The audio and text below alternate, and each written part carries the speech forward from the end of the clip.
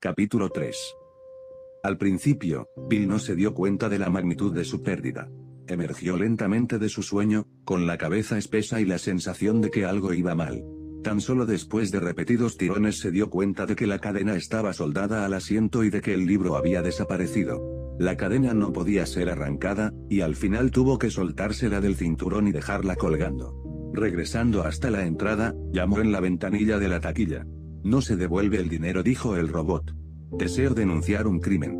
La policía se encarga de los crímenes. Usted quiere hablar con la policía por teléfono. Aquí hay un teléfono. El número es 111, 1, 11, se abrió una portezuela y salió despedido un teléfono que le dio a Bill en el pecho, echándolo hacia atrás.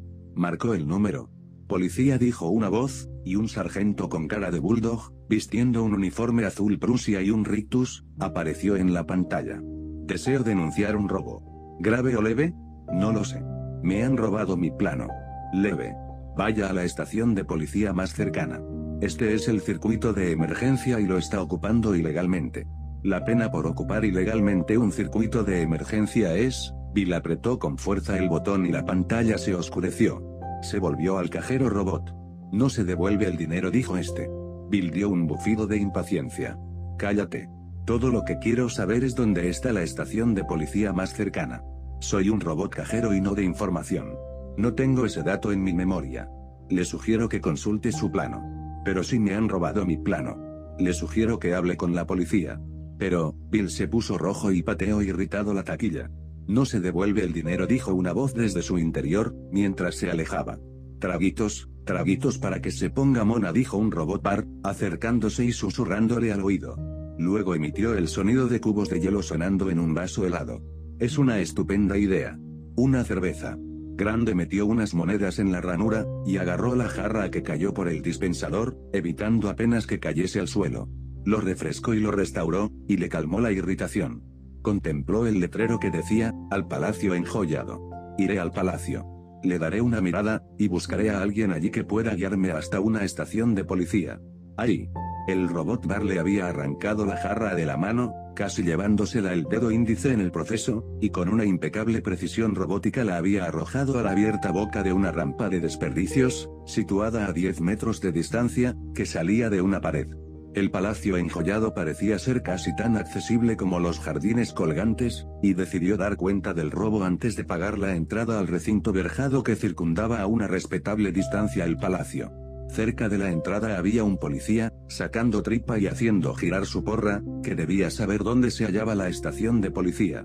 ¿Dónde está la estación de policía? preguntó Bill. No soy ninguna central de información. Use su plano. Pero dijo a través de apretados dientes no puedo. Me han robado el plano, y es por eso por lo que deseo. Aug. Bill había dicho Aug porque el policía, con un movimiento bien aprendido, le había clavado la porra en el sobaco y acorralado con ella contra un rincón. Yo fui soldado antes de lograr pagar mi licencia, dijo el policía. Apreciaría mejor sus reminiscencias si me sacara la porra del sobaco, gimió Bill, y luego suspiró agradecido cuando ésta desapareció. Como fui soldado, no me gustaría ver a un compañero poseedor del dardo púrpura con la nebulosa del saco de carbón meterse en líos. Por otra parte, soy un policía honesto y no acepto sobornos, pero si un compañero me prestase 25 pavos hasta el día de cobro, le estaría muy agradecido. Bill había nacido estúpido, pero estaba aprendiendo. El dinero apareció y se desvaneció rápidamente, y el policía se relajó, golpeando con la punta de su porra sus amarillentos dientes. Muchacho, déjame que te diga algo antes de hablarte oficialmente en virtud de mi cargo, ya que ahora hemos estado hablando de compañero a compañero. Hay un montón de formas en que meterse en líos aquí en Elior, pero la más fácil es perder el plano. En Elior eso se paga con la horca. Sé de un chico que fue a la estación para informar que alguien le robó el plano y lo espesaron antes de que hubieran transcurrido 10 segundos, tal vez 5. Y ahora, ¿qué es lo que querías decirme? Tiene lumbre. No fumo. Entonces, adiós. Tómatelo con calma, muchacho.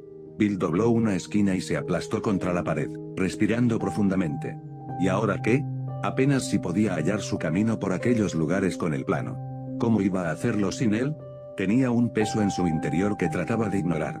Apartó su sensación de terror y trató de pensar, pero pensar la causaba dolor de cabeza. Parecía que hacía años desde su última buena comida, y al pensar en la comida comenzó a segregar saliva a tal velocidad que casi se ahogó. Comida, eso era lo que necesitaba, comida para poder pensar, tenía que relajarse sobre un jugoso filete, y cuando el hombrecillo interior estuviera satisfecho podría pensar claramente y hallar una forma en que salir de este lío. Tenía que haber una forma de hacerlo. Le quedaba casi un día completo antes de tener que regresar al cuartel, y eso era bastante. Dando la vuelta a una esquina, penetró en un alto túnel deslumbrante de luz, y la más brillante de las luces era un signo que decía, el traje espacial dorado. El traje espacial dorado dijo Bill. Eso es lo que necesito. Menudo restaurante, famoso en toda la galaxia por los incontables programas de televisión en los que ha aparecido. He ahí la forma en que volver a recuperar mi antigua moral. Será caro, pero qué infiernos. Apretándose el cinturón y arreglándose el cuello, subió por las amplias escalinatas doradas y atravesó la imitación de compuerta espacial. El maitre le hizo una seña y le sonrió, la suave música le acarició en el camino, y el suelo se abrió bajo sus pies. Arañando inerme las lisas paredes, cayó por un dorado tubo que se inclinaba gradualmente, hasta que, cuando emergió de él, cruzó el aire y cayó, de bruces, en un polvoriento callejón metálico. Frente a él, pintado en la pared con letras de medio metro de alto, se leía el imperativo mensaje, lárgate, desgraciado. Se alzó y se quitó el polvo, y un robot se le aproximó y le murmuró al oído con la voz de una joven y bella muchacha. Apuesto a que estás hambriento, cariño. ¿Por qué no pruebas la pizza con curry al estilo neoindio de Giuseppe Singh? Estás tan solo a unos pasos de su establecimiento, tienes la dirección en la parte de atrás de la tarjeta. El robot sacó una tarjeta de una ranura en su pecho y la colocó cuidadosamente en la boca de Bill. Era un robot barato y mal ajustado. Bill escupió la pastosa tarjeta y la limpió en su pañuelo. ¿Qué pasó? preguntó.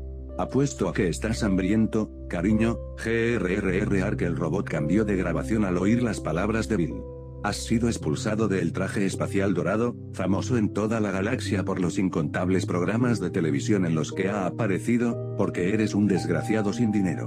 Cuando entraste en el establecimiento te miraron con rayos X y computaron automáticamente el contenido de tus bolsillos. Como este contenido era obviamente inferior a la consumición mínima de entrada, una bebida e impuestos, te expulsaron. Pero aún estás hambriento, no, cariño el robot lo miró de reojo y su almibarada y sexy voz surgió por entre las rendijas de su altavoz bucal. Ven a Sing, en donde la comida es buena y barata. Prueba la fabulosa lasaña de Sing con dal y salsa de lima. Bill fue allí, no porque desease nada de esa repugnante concocción y tal bombayesa, sino porque en la parte trasera de la tarjeta había un mapa de instrucciones. Notaba una sensación de seguridad al saber de nuevo cómo ir de algún punto a otro, siguiendo las direcciones, bajando por aquella escalera, cayendo por aquel tubo gravitatorio, agarrándose como podía a las anillas deslizantes.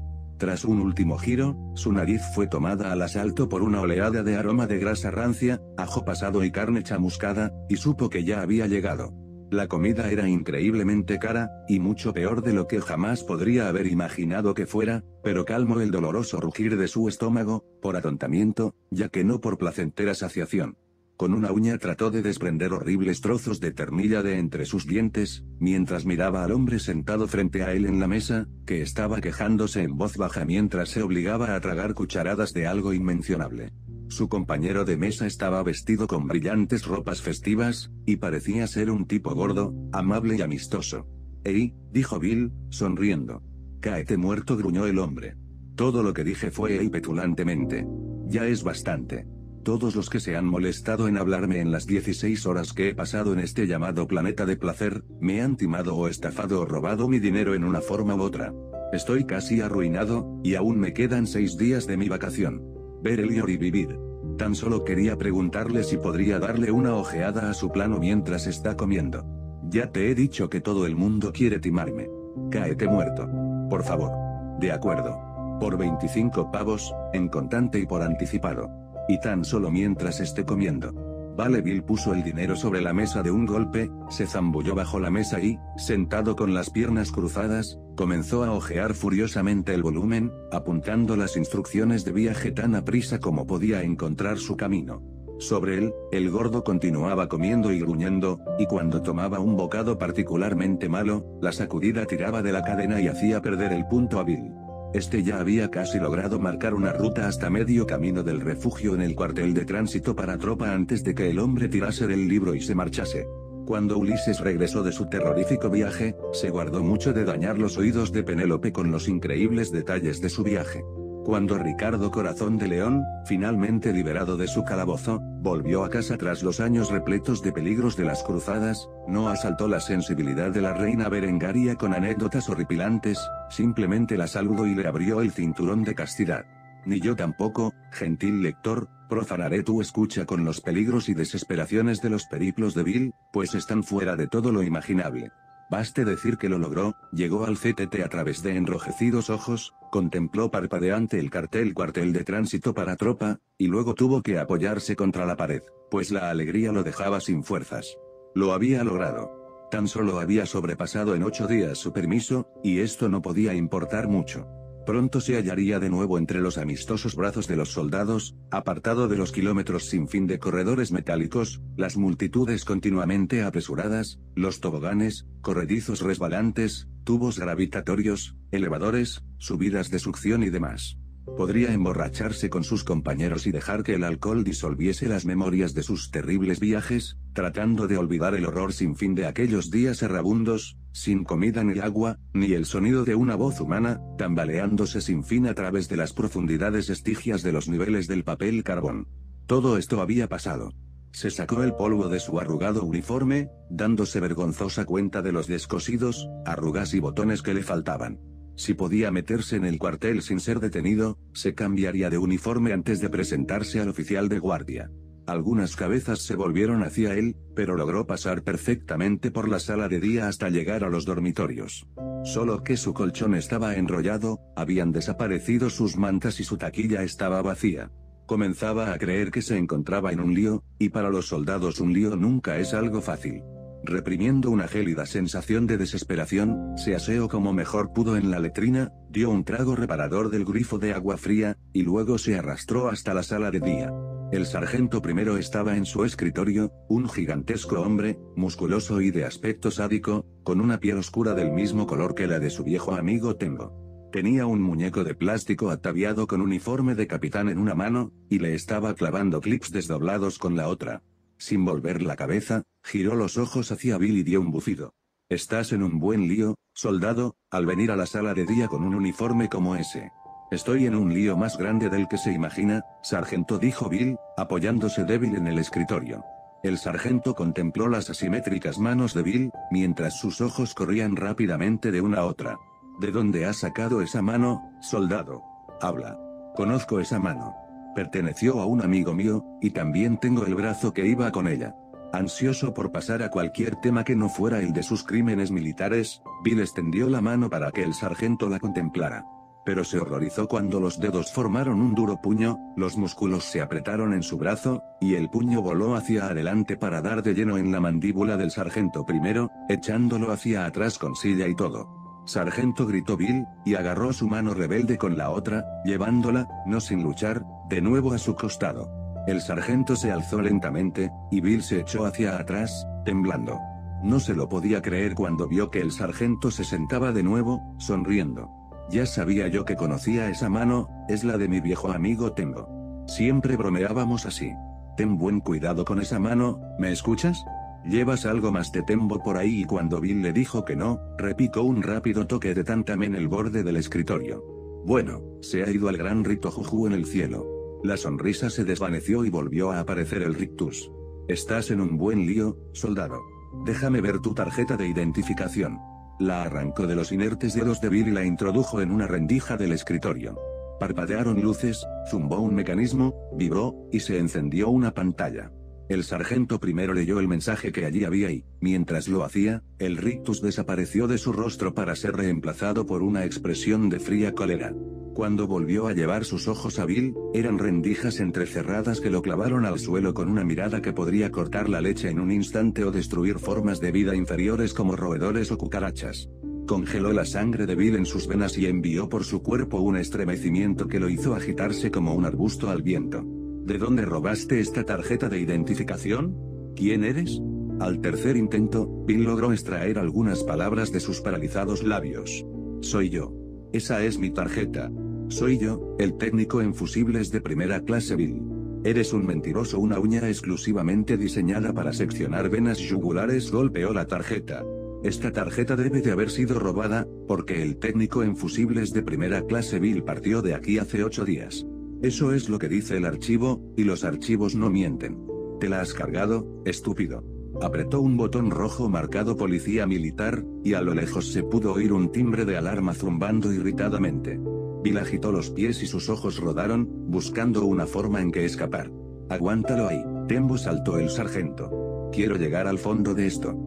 El brazo izquierdo derecho de Bill se agarró al borde del escritorio, y no pudo arrancarlo de allí aún se estaba peleando con él cuando resonaron pesadas botas a sus espaldas. ¿Qué pasa? gruñó una voz familiar usurpación de la personalidad de un suboficial más otros cargos de menor importancia que no importan, pues este solo ya implica una lobotomía con arco voltaico y 30 latigazos. Oh, señor Bill, girando y alegrando sus ojos al ver una muy odiada figura.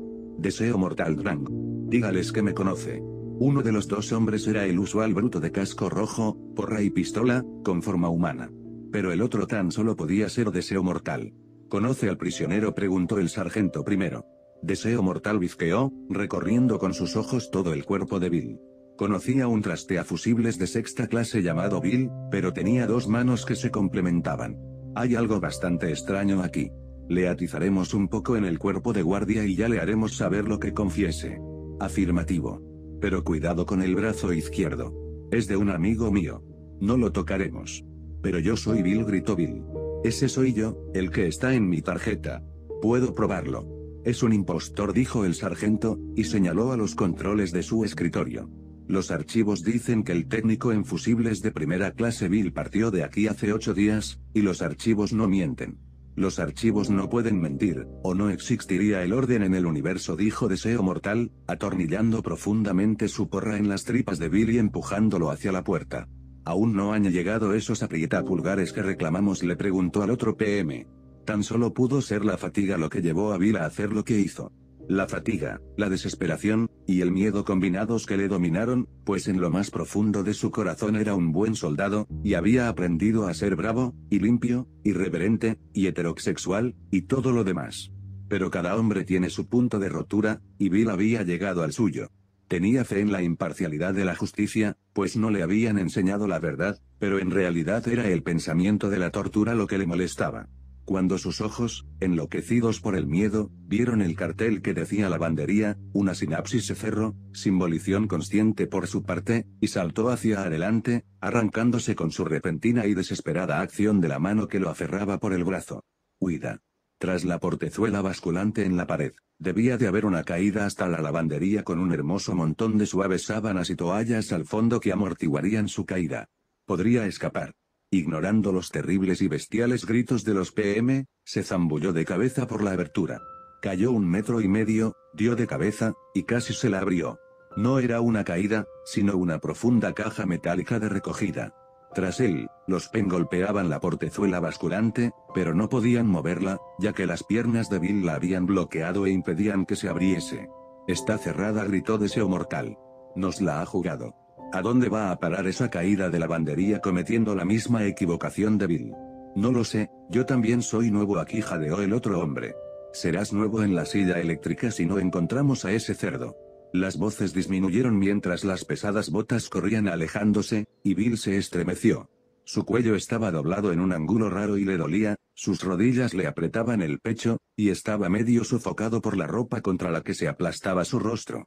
Trató de extender las piernas y empujar la tapa de metal, pero se oí griega o un clic cuando algo se abrió y cayó hacia adelante, al abrirse la caja de recogida al corredor de servicio al otro lado de la pared. Ahí está, dijo una odiada voz familiar, y Bill se tambaleó alejándose. Las botas que corrían estaban pisándole los talones cuando llegó a un tubo gravitatorio y de nuevo se zambulló de cabeza, con bastante más éxito esta vez. Cuando los apopléticos PEM saltaron tras él, el mecanismo automático los separó unos buenos 5 metros unos de otros. Era una caída lenta y suave, y la visión de Bill se aclaró finalmente. Miró hacia arriba, y se estremeció a la vista de la fisonomía repleta de colmillos de deseo mortal flotando tras él. Viejo amigo sollozó Bill, juntando sus manos en una actitud de ruego. ¿Por qué me persigue? No me llames amigo, espía Chinger. Ni siquiera eres un buen espía, tus brazos no concuerdan mientras caía, Deseo Mortal sacó la pistola de la funda y la apuntó directamente entre los ojos de Bill. Muerto mientras tratabas de escapar. Tenga piedad rogó Bill. Muerte a los Chingers apretó el gatillo. Capítulo 4 la bala surgió lentamente de entre la nube de gases en expansión, y planeó medio metro hacia Bill antes de que el zumbante campo gravitatorio la detuviese. La simplemente del mecanismo automático tradujo la velocidad de la bala como masa y asumió que otro cuerpo había entrado en el tubo gravitatorio, y le dio una posición. La caída de deseo mortal se detuvo hasta que se halló a 5 metros por detrás de la bala, mientras que el otro PEM también asumía la misma posición relativa tras él. El vacío entre Bill y sus perseguidores era ahora el doble, y aprovechó esto, saliendo por la abertura del siguiente nivel. Un elevador abierto lo atrajo hacia sí, y se metió en su interior y cerró la puerta antes de que el blasfemante deseo mortal pudiera surgir del tubo. Tras esto, la escapatoria fue simplemente cuestión de enmarañar su rastro.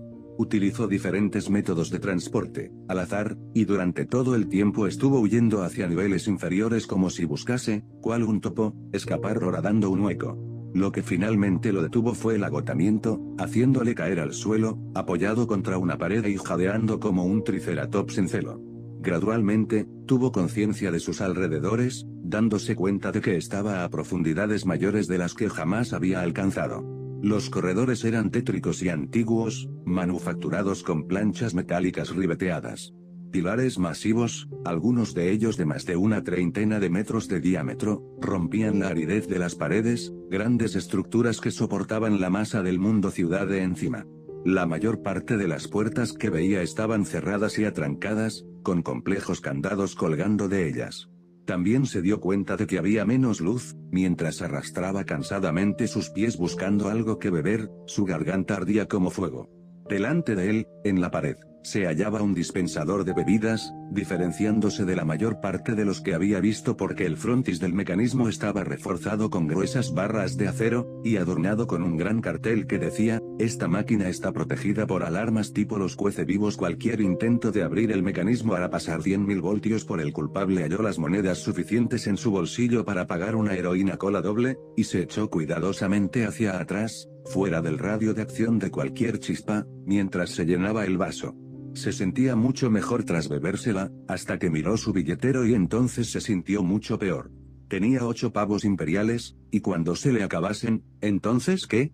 La piedad por sí mismo logró atravesar el bloque que el cansancio y las drogas establecían sobre sus sentidos, y lloró. Se daba cuenta, en forma vaga, de que ocasionalmente pasaba alguien, pero no prestaba atención. No, hasta que tres hombres se detuvieron frente a él y dejaron que un cuarto cayera al suelo. Bill los contempló, y luego apartó la mirada, mientras sus palabras llegaban vagamente a sus oídos, sin que esto registrase significado, pues se lo estaba pasando mucho mejor hundiéndose en su lacrimosa desesperación. Pobre viejo Goff. Parece que está acabado. Seguro. Está teniendo la agonía más bonita que jamás he oído. Dejadlo aquí para que lo recojan los robots de limpieza. Pero ¿qué hay del trabajo? Tenemos que ser cuco para que salga bien. Demos una mirada a este desplanado. Una pesada bota golpeando al costado de Bill lo hizo rodar y llamó su atención.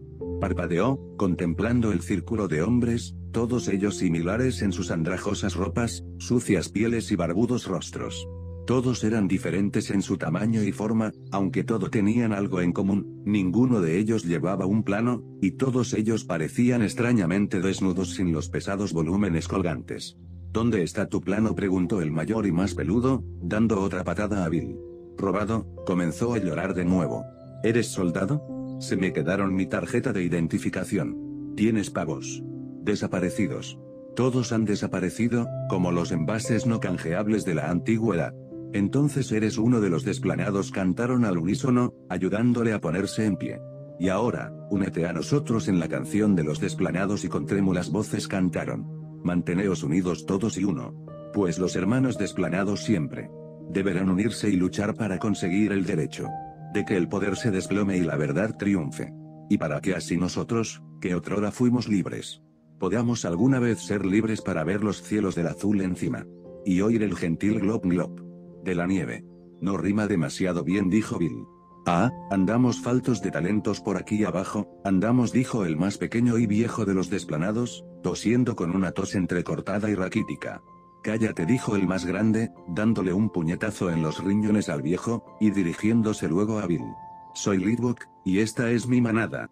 Formas parte de mi manada ahora, recién llegado, y tu nombre es Goth 28169 menos. No, no lo soy. Mi nombre es Bill, y es más fácil de decir, le dieron otra patada. Cierra el pico. Bill es un nombre difícil porque es un nombre nuevo, y nunca recuerdo nombres nuevos. Yo siempre he tenido un Goth 28169 menos en mi manada. ¿Cuál es tu nombre? Vi. Ahí. Quiero decir Goth. Así está mejor, pero no olvides que también tienes un apellido. Yo estoy hambriento, gimió el viejo. ¿Cuándo vamos a hacer el asalto? Ahora. Seguidme pasaron por encima del viejo Goff, etc., que había expirado mientras se iniciaba el nuevo, y se apresuraron a lo largo de un oscuro y húmedo pasadizo. Bill los siguió, preguntándose en dónde se había metido ahora, pero demasiado cansado como para preocuparse en este momento. Estaban hablando de comida, después de conseguirse alguna comida podría pensar qué hacer a continuación, pero mientras tanto se sentía contento porque alguien se ocupase de él y pensase por él. Era como volver a estar de nuevo con el ejército, solo que mejor, pues uno no tenía que afeitarse. El pequeño grupo de hombres emergió a una sala brillantemente iluminada, molestándoles algo el repentino resplandor. Litvok les hizo una seña para que se detuvieran y miró cuidadosamente en ambas direcciones, luego hizo pantalla con una mano rebozada de suciedad detrás de su oreja en forma de coliflor y escuchó, frunciendo el ceño por el esfuerzo. Parece que todo está bien. Smadzi, tú te quedas aquí y das la alarma si viene alguien, Sporco, atraviesa la sala hasta el otro lado y haz lo mismo, tú, el nuevo Goff, vienes conmigo. Los dos centinelas se dirigieron hacia sus puestos, mientras Bill seguía a Litvok hasta una salita que contenía una puerta metálica cerrada que el fornido jefe abrió con un simple golpe de martillo de metal que sacó de algún lugar oculto entre sus mugrientas ropas. En el interior, había un cierto número de tubos de diversas dimensiones que se alzaban del suelo y se desvanecían en el techo de arriba. Cada tubo estaba marcado con un número, y Lidwok lo señaló. Tenemos que encontrar el KL-256 le dijo. Vamos.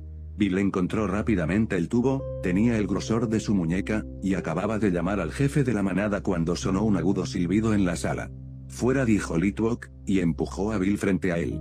Luego cerró la puerta y se puso frente a ella, de tal forma que con su cuerpo cubría la cerradura rota. Se oía un siseo y un ronroneo crecientes que se acercaban desde la sala hacia ellos, mientras esperaban en la salita.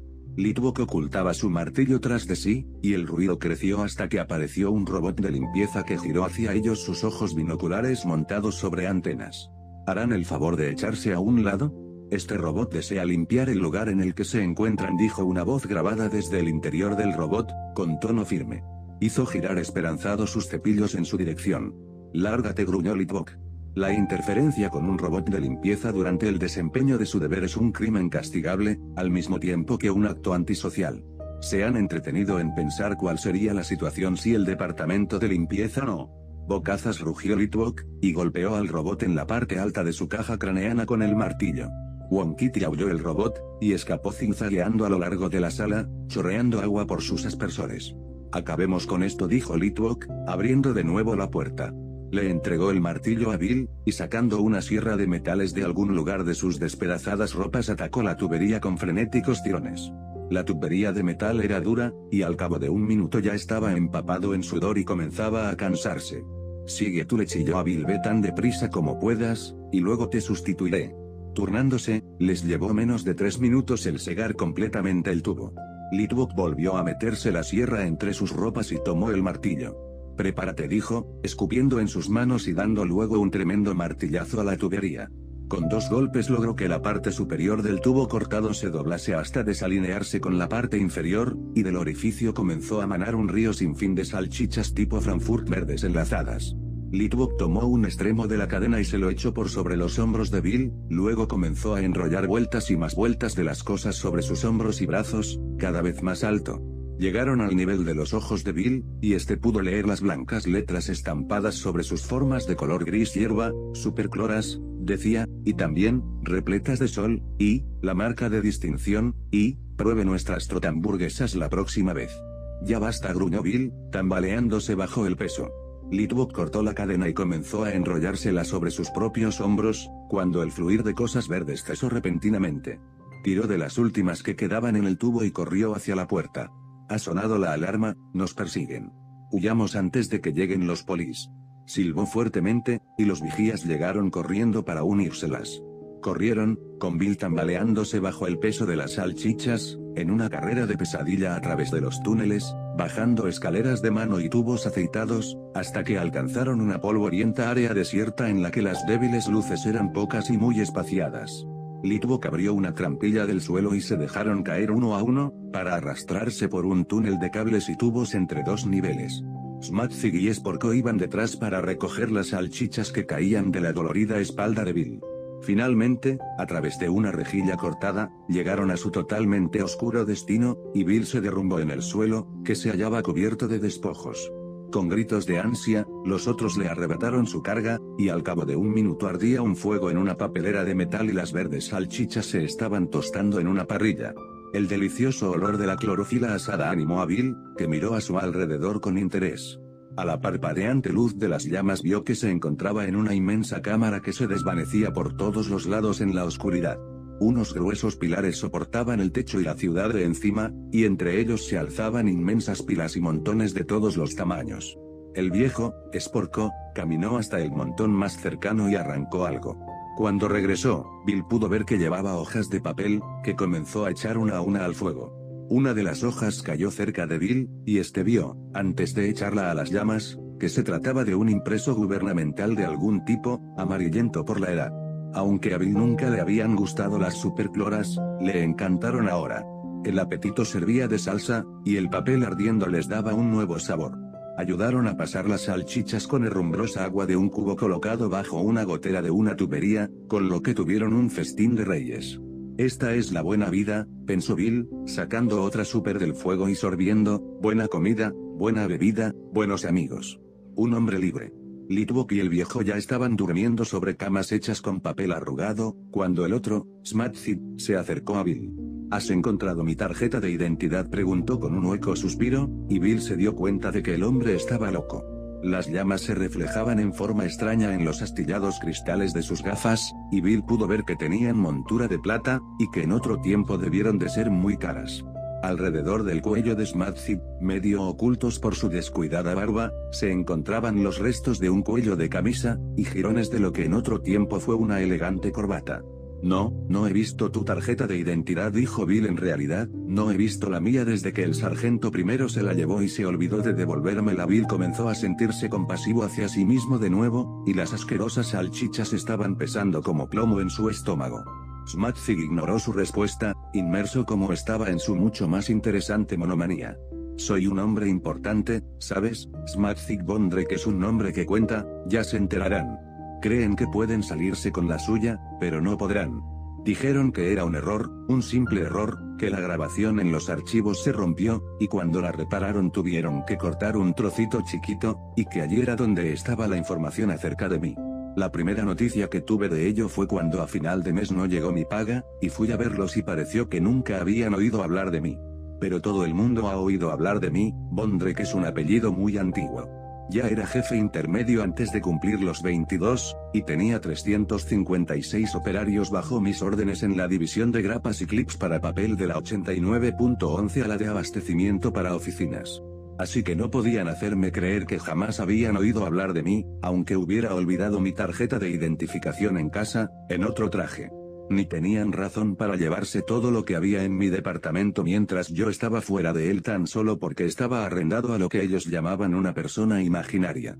Podría haber probado que era quien decía si hubiera tenido mi tarjeta de identidad. ¿Has visto mi tarjeta de identidad? Ahora me toca a mí, pensó Bill. Y dijo en voz alta. Eso suena a mala pasada. Te diré lo que haré, te ayudaré a buscarla. Me iré por ahí a ver si la encuentro. Antes de que la confusa cabeza de Smarty pudiera pensar una respuesta, Bill ya se había escabullido por entre los montañosos montones de viejos archivos, muy contento consigo mismo por haber logrado ser más listo que un loco de mediana edad. Se sentía placenteramente repleto, y cansado, y no quería ser molestado de nuevo. Lo que necesitaba ahora era una buena noche de descanso, y luego, por la mañana, ya pensaría en todo este lío, y hasta quizá encontrase cómo salir de él. Tanteando su camino por entre los atiborrados pasadizos, recorrió una larga distancia, separándose de los otros desplanados, antes de subir a un tambaleante montón de papel y, de ahí, subir a otro aún más alto. Suspiró aliviado y arregló un montoncito de papel para que le sirviera de almohada, y cerró después los ojos. Entonces las luces se encendieron en hileras en el techo del almacén, y agudos silbatos de la policía sonaron por todas partes, así como gritos guturales que lo llenaron de terror. Agarra a ese. No lo dejes escapar. Ya tengo a este ladrón. Vosotros, malditos desplanados, habéis robado vuestra última superclora. Os mandarán a las minas de sales de uranio de Zana 1. Y luego, los tenemos a todos y mientras Bill seguía recostado, agarrándose desesperadamente a los impresos, y con el corazón palpitando aterrorizado, llegó por fin la respuesta. Sí, cuatro. Los hemos estado vigilando durante mucho tiempo, esperando agarrarlos si intentaban algo como esto. Pero aquí solo hay tres. Vi al cuarto antes, se lo llevaba un robot de limpieza, y estaba tan tieso como un palo. Afirmativo. Entonces vámonos. El miedo corrió de nuevo a través de Bill. ¿Cuánto tiempo pasaría antes de que alguno del grupo hablase y lo delatase para mejorar su situación, diciéndole a los polis que acababan de conseguir un nuevo recluta? Tenía que irse de allí. Toda la policía parecía estar ahora reunida alrededor de donde habían asado las salchichas, y tenía que correr el riesgo. Deslizándose de la pila tan silenciosamente como pudo, comenzó a reptar en dirección opuesta. Si no había salida en aquella dirección, estaba atrapado. No tenía que pensar así. Tras él sonaron silbatos, y supo que ya habían comenzado a perseguirlo. La adrenalina fluyó a raudales en su riego sanguíneo, y salió corriendo hacia adelante, mientras las ricas proteínas equinas de las salchichas añadían fuerza a sus piernas y le imprimían una carrera que era un verdadero trote. Delante de él vio una puerta, y se echó con todo su peso contra ella. Por un instante permaneció inmóvil, y luego se abrió rechinando sobre sus oxidadas bisagras sin reparar en el peligro, se abalanzó por una escalera en espiral, bajando y bajando, hasta llegar a otra puerta, huyendo locamente, pensando únicamente en el escape. De nuevo, con el instinto de un animal perseguido, huyó hacia abajo. No se fijó en que las paredes estaban ahora remachadas y en algunos sitios recubiertas de óxido, ni pensó que era poco usual el que tuviera que abrir una atrancada puerta de madera, madera en un planeta que no había visto un árbol en un centenar de milenios. El aire era más húmedo y a veces maloliente, y su empavorecida carrera lo llevó a través de un túnel de piedra en el que bestias innominadas huyeron frente a él con el tamborileo de malignas garras. Había largos espacios condenados a la oscuridad eterna, en donde tenía que hallar su camino a tientas, corriendo sus dedos a lo largo del repugnante y viscoso moho que cubría las paredes. Donde había luces, brillaban débilmente tras sus cargas de telarañas y cadáveres de insectos chapoteó a través de charcos de agua estancada, hasta que, lentamente, la extrañeza de lo que lo rodeaba le penetró y le hizo mirar a su alrededor. En el suelo, bajo sus pies, había otra puerta, y aún impelido por el reflejo de la huida la abrió, pero no llevaba a ninguna parte. En lugar de esto daba acceso a un depósito de alguna clase de metal granuloso, no muy diferente al azúcar en bruto. Aunque quizá fuese un aislamiento. Tal vez fuera comestible. Se inclinó y cogió un poco entre sus dedos, y lo aplastó con los dientes. No, no era comestible. Lo escupió, aunque había algo realmente familiar en él. Entonces recordó. Era polvo. Tierra. Suelo. Arena. La cosa esa de que están hechos los planetas, de que este planeta estaba hecho. Era la superficie de Elior, sobre la que descansaba el increíble peso de aquella ciudad que circundaba el mundo. Miró hacia arriba, y por un inenarrable momento se dio cuenta repentinamente de aquel peso, de todo aquel peso, sobre su cabeza, apretando y tratando de aplastarlo. Ahora estaba en el fondo, en el verdadero fondo, y obsesionado por una claustrofobia galopante. Dando un débil gemido, corrió por el pasillo hasta que llegó a una inmensa puerta sellada y atrancada. No había salida por allí.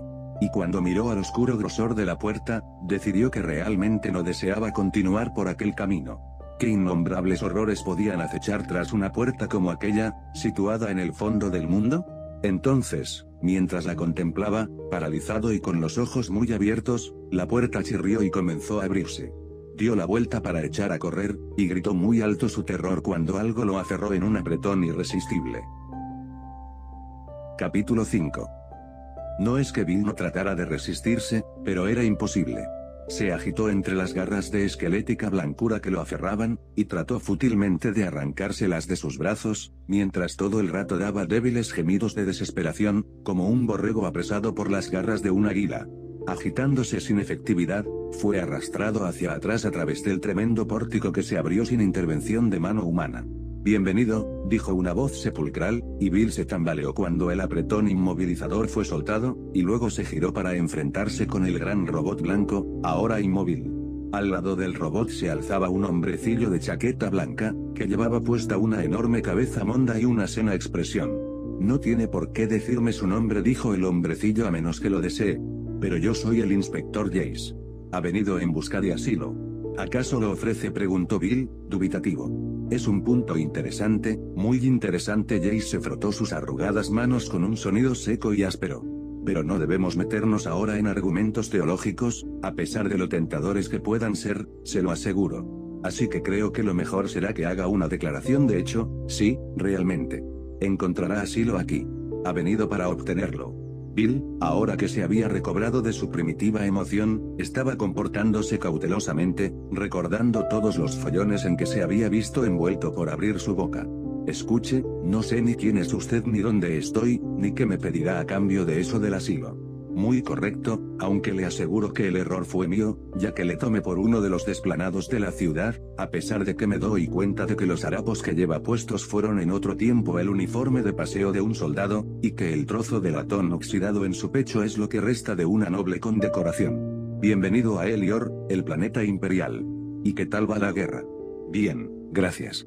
¿Pero a qué viene todo esto? Soy el inspector Jace, del Departamento Municipal de Limpieza puedo ver, y sinceramente espero que perdonará mi indiscreción, que se halla usted en dificultades, mal uniformado, sin plano, y tal vez hasta le habrá desaparecido su tarjeta de identidad contempló el inquieto agitarse de Bill con ojos astutos, de pájaro. Pero no tiene por qué ser así. Acepte el asilo. Proveeremos por ustedes, le daremos un buen trabajo, un nuevo uniforme, y hasta una nueva tarjeta de identidad. Todo lo que tengo que hacer es convertirme en un barrendero, resopló Bill. Preferimos la apelación de agentes de saneamiento, contestó humildemente el inspector Jace. Ya me lo pensaré, dijo fríamente Bill. ¿Puedo ayudarle a llegar a una decisión? preguntó el inspector, apretando un botón en la pared. El pórtico a la oscuridad total se abrió de nuevo, chirriante, y el robot agarró a Bill y comenzó a empujarle. Así lo chilló Bill, y luego resopló cuando el robot lo soltó y la puerta se cerró de nuevo. Iba a pedirlo de todas maneras, no tenía por qué empujarme.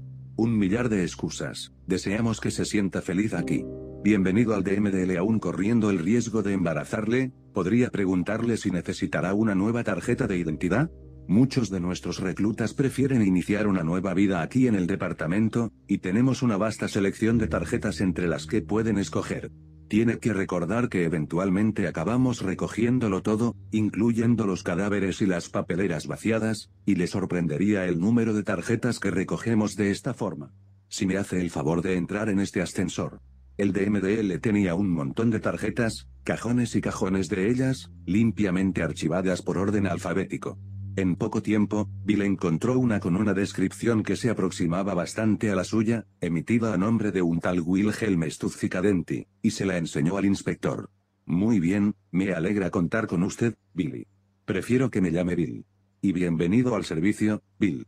Siempre estamos faltos de personal aquí abajo, y podrá escoger las tareas que desee, sí, realmente, dependiendo naturalmente de su talento y de sus intereses.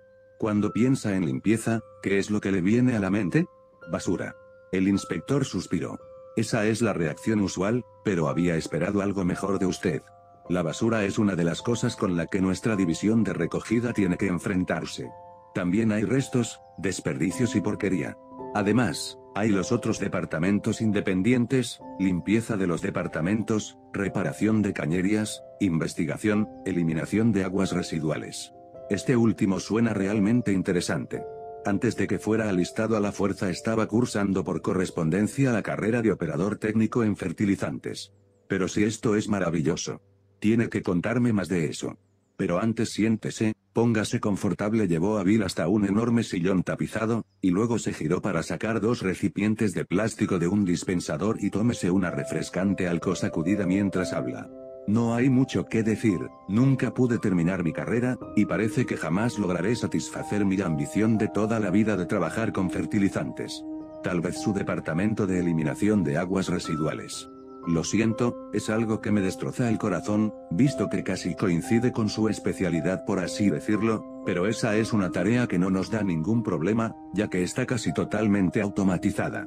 Estamos muy satisfechos de nuestro récord con las aguas residuales porque es realmente grande, debe de haber 150 mil millones de personas en el IOR. ¡Wow! Tiene razón, puedo verlo en el brillo de sus ojos. Sí, ese es un montón de aguas residuales, y espero en algún momento tener el honor de mostrarle nuestra factoría. Pero recuerde, donde hay aguas residuales tiene que haber comida, y con Elior importando toda su comida tenemos una operación en círculo cerrado que es el sueño de un ingeniero de saneamiento. Las naves de los planetas agrícolas traen la comida procesada que va a la población, donde sufre lo que podríamos llamar la cadena de mando. Nosotros recogemos los efluvios y los procesamos, con los tratamientos usuales, físicos y químicos, bacterias anaerobias y similares. ¿No le estoy aburriendo con todo esto? No, por favor, dijo Bill, sonriendo y secándose una lágrima con el puño. Es simplemente que me siento tan feliz. Hacía tanto que no tenía una conversación inteligente. Ya me lo puedo imaginar, tiene que ser brutal en el servicio le dio una palmada a Bill en el hombro, en un amistoso gesto de bienvenida. Olvídese de todo eso, ahora está entre amigos. ¿Dónde estábamos? Oh, sí, las bacterias. Entonces hay la deshidratación y la compresión. Producimos uno de los mejores ladrillos de fertilizante condensado de toda la galaxia civilizada, y me enfrentaría con cualquiera que tratase de negarlo. Y seguro que ganaría, afirmó fervientemente Bill. Las cadenas automáticas y los ascensores se llevan los ladrillos a los espaciopuertos, donde son cargados en las astronaves en cuanto son vaciadas, una carga completa por cada carga completa, ese es nuestro lema. Y he oído que en algunos de los planetas de suelo pobre dan vivas cuando las naves aterrizan. No, no podemos protestar de nuestro tratamiento de las aguas residuales, son los otros departamentos los que nos crean problemas. El inspector Jace vació su recipiente y se quedó sentado con cara huraña, habiendo desaparecido su placer tan repentinamente como había aparecido. No, no haga eso, le chilló a Bill, cuando este terminó su bebida e inició el gesto de tirar el recipiente vacío al receptor de desperdicios de la pared. No quería gritar en esa forma, se disculpó, pero ese es nuestro gran, gran problema. Los desechos. ¿Ha pensado alguna vez en cuántos periódicos tiran cada día 150 mil millones de personas? ¿O cuántos recipientes no recuperables? ¿O platos de un solo uso? Estamos trabajando en investigación acerca de este problema, día y noche, pero no logramos solucionarlo. Es una pesadilla. Ese recipiente de alcohol sacudida que tiene en la mano es una de nuestras respuestas, pero tan solo es una gota de agua en el océano. Cuando las últimas gotas de líquido se evaporaron del recipiente, este comenzó a agitarse obscenamente en la mano de Billy, horrorizado, lo dejó caer al suelo, donde continuó agitándose y cambiando de forma, desmoronándose y aplanándose ante sus ojos. Tenemos que agradecerle a los matemáticos esta solución, dijo el inspector.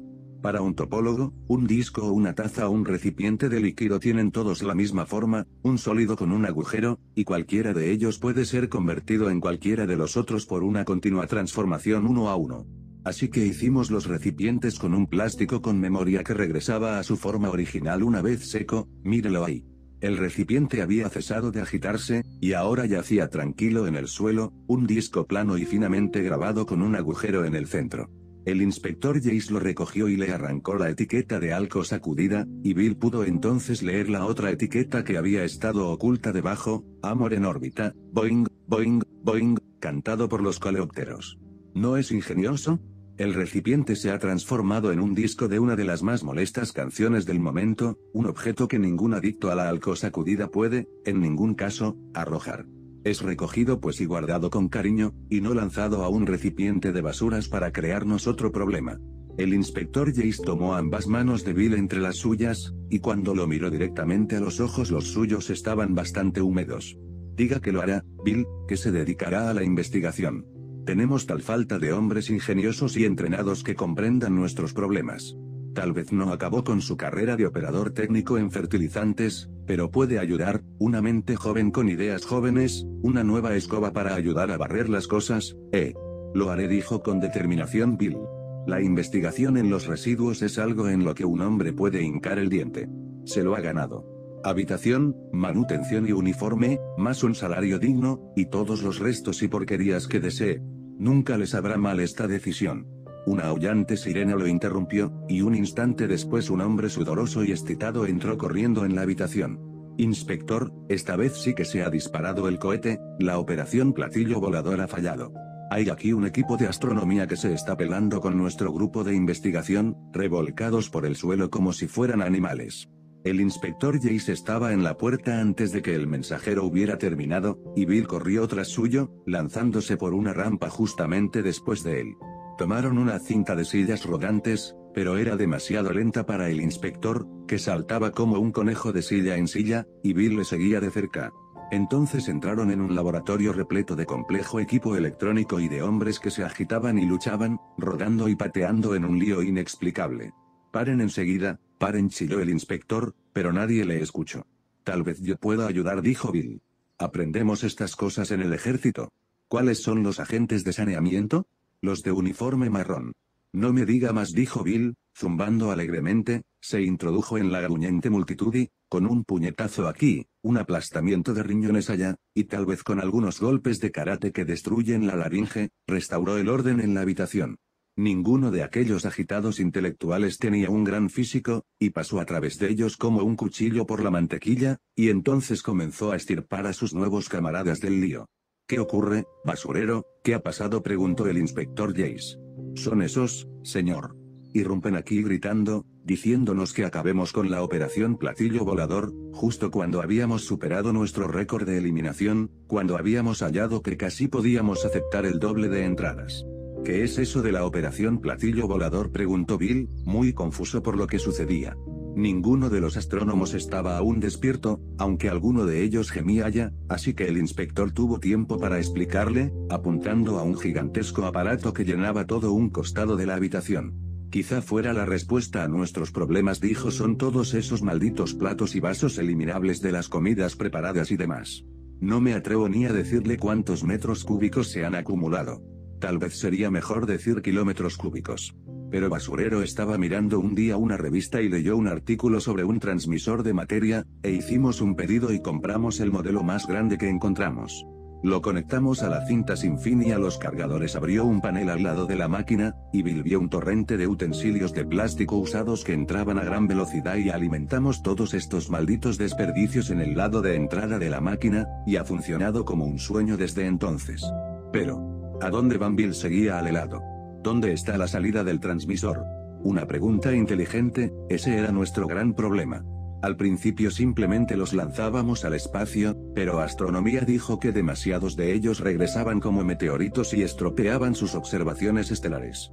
Aumentamos la energía y los lanzamos más lejos, poniéndolos en órbita, pero navegación dijo que estábamos creando una molestia en el espacio, formando un peligro para la navegación, y tuvimos que ir más lejos. Finalmente, Basurero consiguió de astronomía las coordenadas de la estrella más cercana, y desde entonces los hemos estado echando a la estrella sin tener problemas y satisfaciendo a todo el mundo. Su estúpido dijo uno de los astrónomos, entre labios rotos, mientras trataba de ponerse en pie.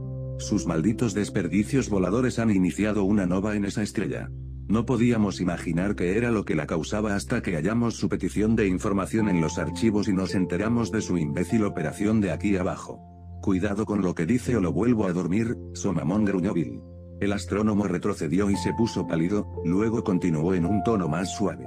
Mire, tienen que comprender lo que ha pasado. No pueden estar lanzando todos esos átomos de carbono e hidrógeno a un sol y esperar que no pase nada. La cosa se ha vuelto nova, y me han dicho que no lograron evacuar completamente algunas bases de los planetas interiores. La eliminación de los desperdicios no se realiza sin peligros. Al menos murieron en servicio a la humanidad. Bueno, sí, eso es fácil de decir. Lo hecho, hecho está. Pero tendrán que detener su operación platillo volador. Inmediatamente. Porque preguntó el inspector Jace. Tengo que admitir que este pequeño asunto de la nova no estaba previsto, pero ya ha sucedido y no podemos hacer mucho al respecto. Y han oído decirle a Basurero que casi ha doblado la entrada, y que pronto recuperaremos el tiempo perdido. ¿Por qué cree que se ha doblado la capacidad de eliminación? gruñó el astrónomo. Han convertido a esa estrella en tan inestable que está consumiéndolo todo y a punto de convertirse en una supernova, que no solo destruirá a todos sus planetas, sino que tal vez sus efectos lleguen hasta Elior y su Sol. Detenga inmediatamente su máquina infernal. El inspector suspiró y luego agitó la mano, en forma cansada y sin embargo final. Apagada, basurero. Tenía que haber imaginado que esto era demasiado bueno para durar. Pero, señor el ingeniero estaba apretujándose las manos con desesperación volveremos a donde empezamos. Se comenzará a amontonar de nuevo. Haga lo que se le ordena. Con un suspiro resignado, Basurero se arrastró hasta el tablero de control y cerró un conmutador. El tableteo y repiqueteo de las cintas sin fin murió, y los zumbantes generadores cayeron en el silencio. Por toda la habitación, los hombres de limpieza se hallaban en grupos silenciosos y deprimidos, mientras los astrónomos volvían a la conciencia y se ayudaban los unos a los otros a salir de la habitación. Cuando salía el último, se giró y, mostrando los dientes, escupió la palabra. Recoge basuras una llave inglesa lanzada contra él golpeó la puerta cerrada, y la derrota fue completa. Bien, uno no puede vencer en todas las ocasiones, dijo enérgicamente el inspector Jace, aunque sus palabras tenían un tono hueco. No obstante, basurero, te traigo sangre nueva. Este es Bill, un joven de brillantes ideas para tu equipo de investigación. Es un placer, dijo Basurero, haciendo desaparecer la mano de Bill en el interior de una de sus manazas. Era un hombre enorme, ancho, alto y grueso, con tez olivácea y pelo negro oscuro que le colgaba casi hasta los hombros. Ven, vamos a tripear un poco, y mientras te explicaré cómo están las cosas aquí y tú me hablarás de ti. Caminaron por los prístinos corredores del DMDL, mientras Bill le contaba su vida a su nuevo jefe. Basurero estaba tan interesado en esta que se equivocó al dar un giro y abrió una puerta sin mirar. Surgió un torrente de potes y bandejas de plástico que les llegó hasta las rodillas antes de que pudieran forzarla a cerrarse de nuevo. Lo ves le dijo a Bill con mal contenida rabia. Estamos inundados. Hemos usado todo el espacio disponible para almacenamiento, y siguen amontonándose las cosas. Por Krishna que no sé lo que va a pasar, ya no tenemos dónde poner más. Se sacó un silbato de plata del bolsillo y sopló enérgicamente por él. No produjo sonido alguno. Bill se distanció un poco, contemplándolo con sospecha, y Basurero le dirigió un resoplido. No pongas esa cara de susto, aún no se me ha perdido ningún tornillo. Esto es un silbato supersónico para robots, que produce un sonido demasiado agudo para los oídos humanos, pero que los robots pueden oír perfectamente. ¿Lo ves? Con un resonar de ruedas, un robot basurero, un robas, llegó rápidamente y, con veloces movimientos de sus brazos recogedores, comenzó a cargar toda la basura plástica en su depósito. Eso del silbato es una gran idea, comentó Bill. Me gusta eso de poder llamar a un robot cuando uno lo necesita. ¿Crees que podría tener uno, ahora que soy agente de saneamiento como tú y los demás? Son algo especial, le contestó Basurero, entrando en la cantina por la puerta correcta. Difíciles de conseguir, ¿entiendes? No, no entiendo. ¿Tendré uno o no? Basurero lo ignoró, contemplando absorto el menú y marcando un número. La comida preparada y congelada salió por el dispensador, y la empujó al calentador radar. Bien, inquirió Bill. Si tanto te interesa, explicó Basurero un tanto embarazado, te diré que lo sacamos de los paquetes de cereales.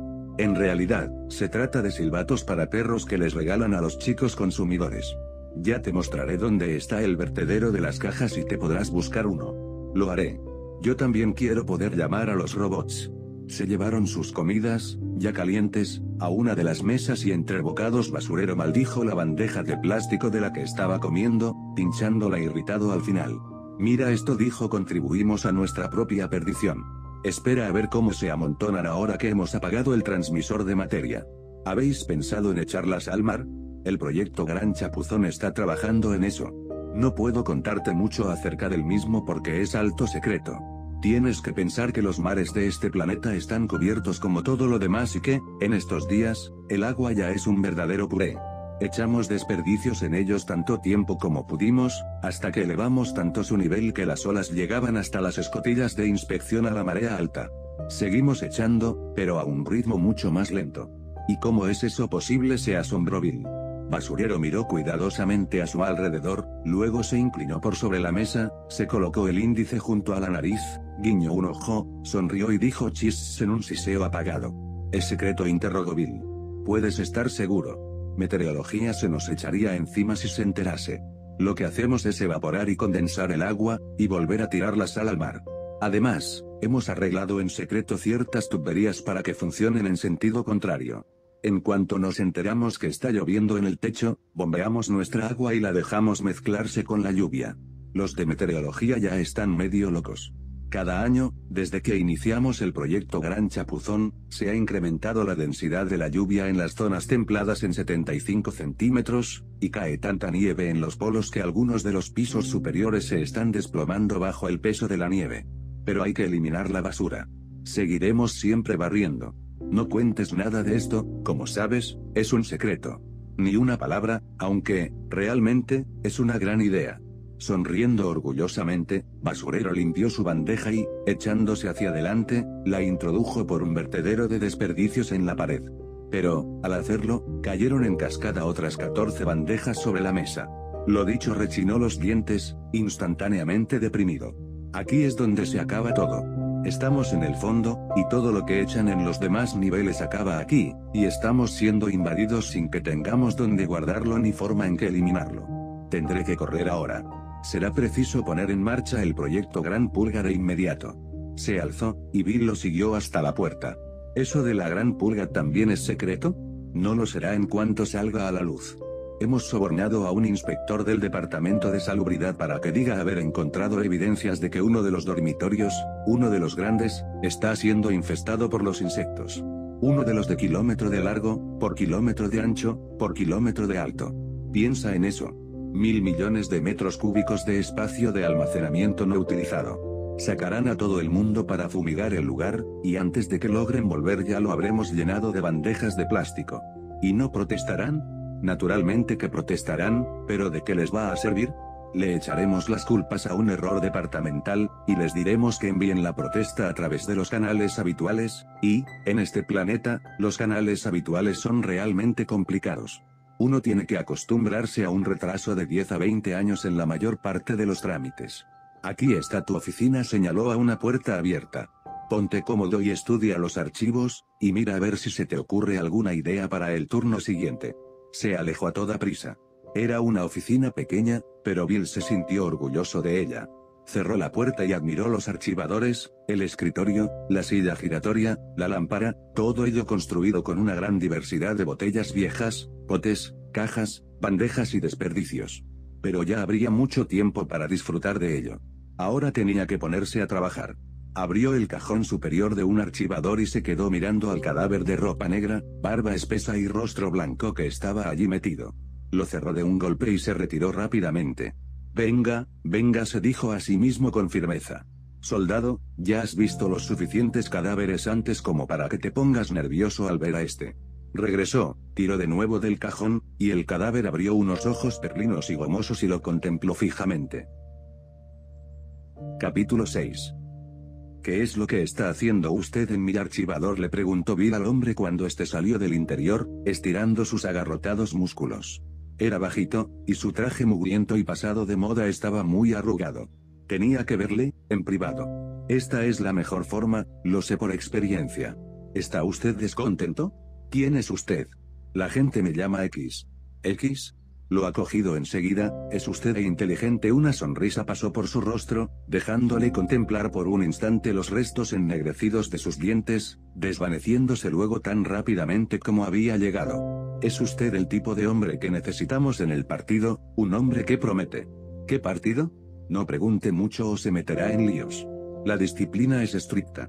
Pinchese en la muñeca para poder hacer el juramento de sangre para que Bill lo contempló muy fijamente, al tanto de cualquier movimiento sospechoso.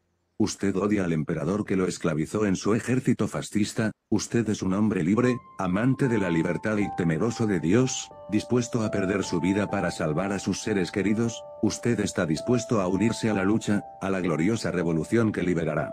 Fuera huyó Bill, cogiéndolo por las ropas y empujándolo hacia la puerta. X se escapó de su apretón y corrió tras el escritorio. Ahora es tan solo un lacayo de los criminales, pero libere su mente de las cadenas, lea este libro algo revoloteó hasta el suelo y piense. Volveré. Cuando Bill saltó sobre él, X hizo algo a la pared y se abrió un panel, tras el que se desvaneció. Se cerró con un clic, y cuando Bill lo miró de cerca no pudo hallar ni marca ni señal en la superficie, aparentemente sólida.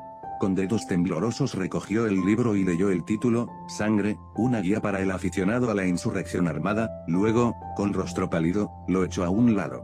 Trató más tarde de quemarlo, pero las páginas eran ininflamables. Tampoco pudo romperlas, las tijeras se embotaron sin poder cortar una sola hoja. Desesperadamente, acabó por tirarlo detrás del archivador y tratar de olvidar que estaba allí. Tras la calculada y sádica esclavitud del servicio, el trabajar honestamente por sus basuras le representó un gran placer para Bill.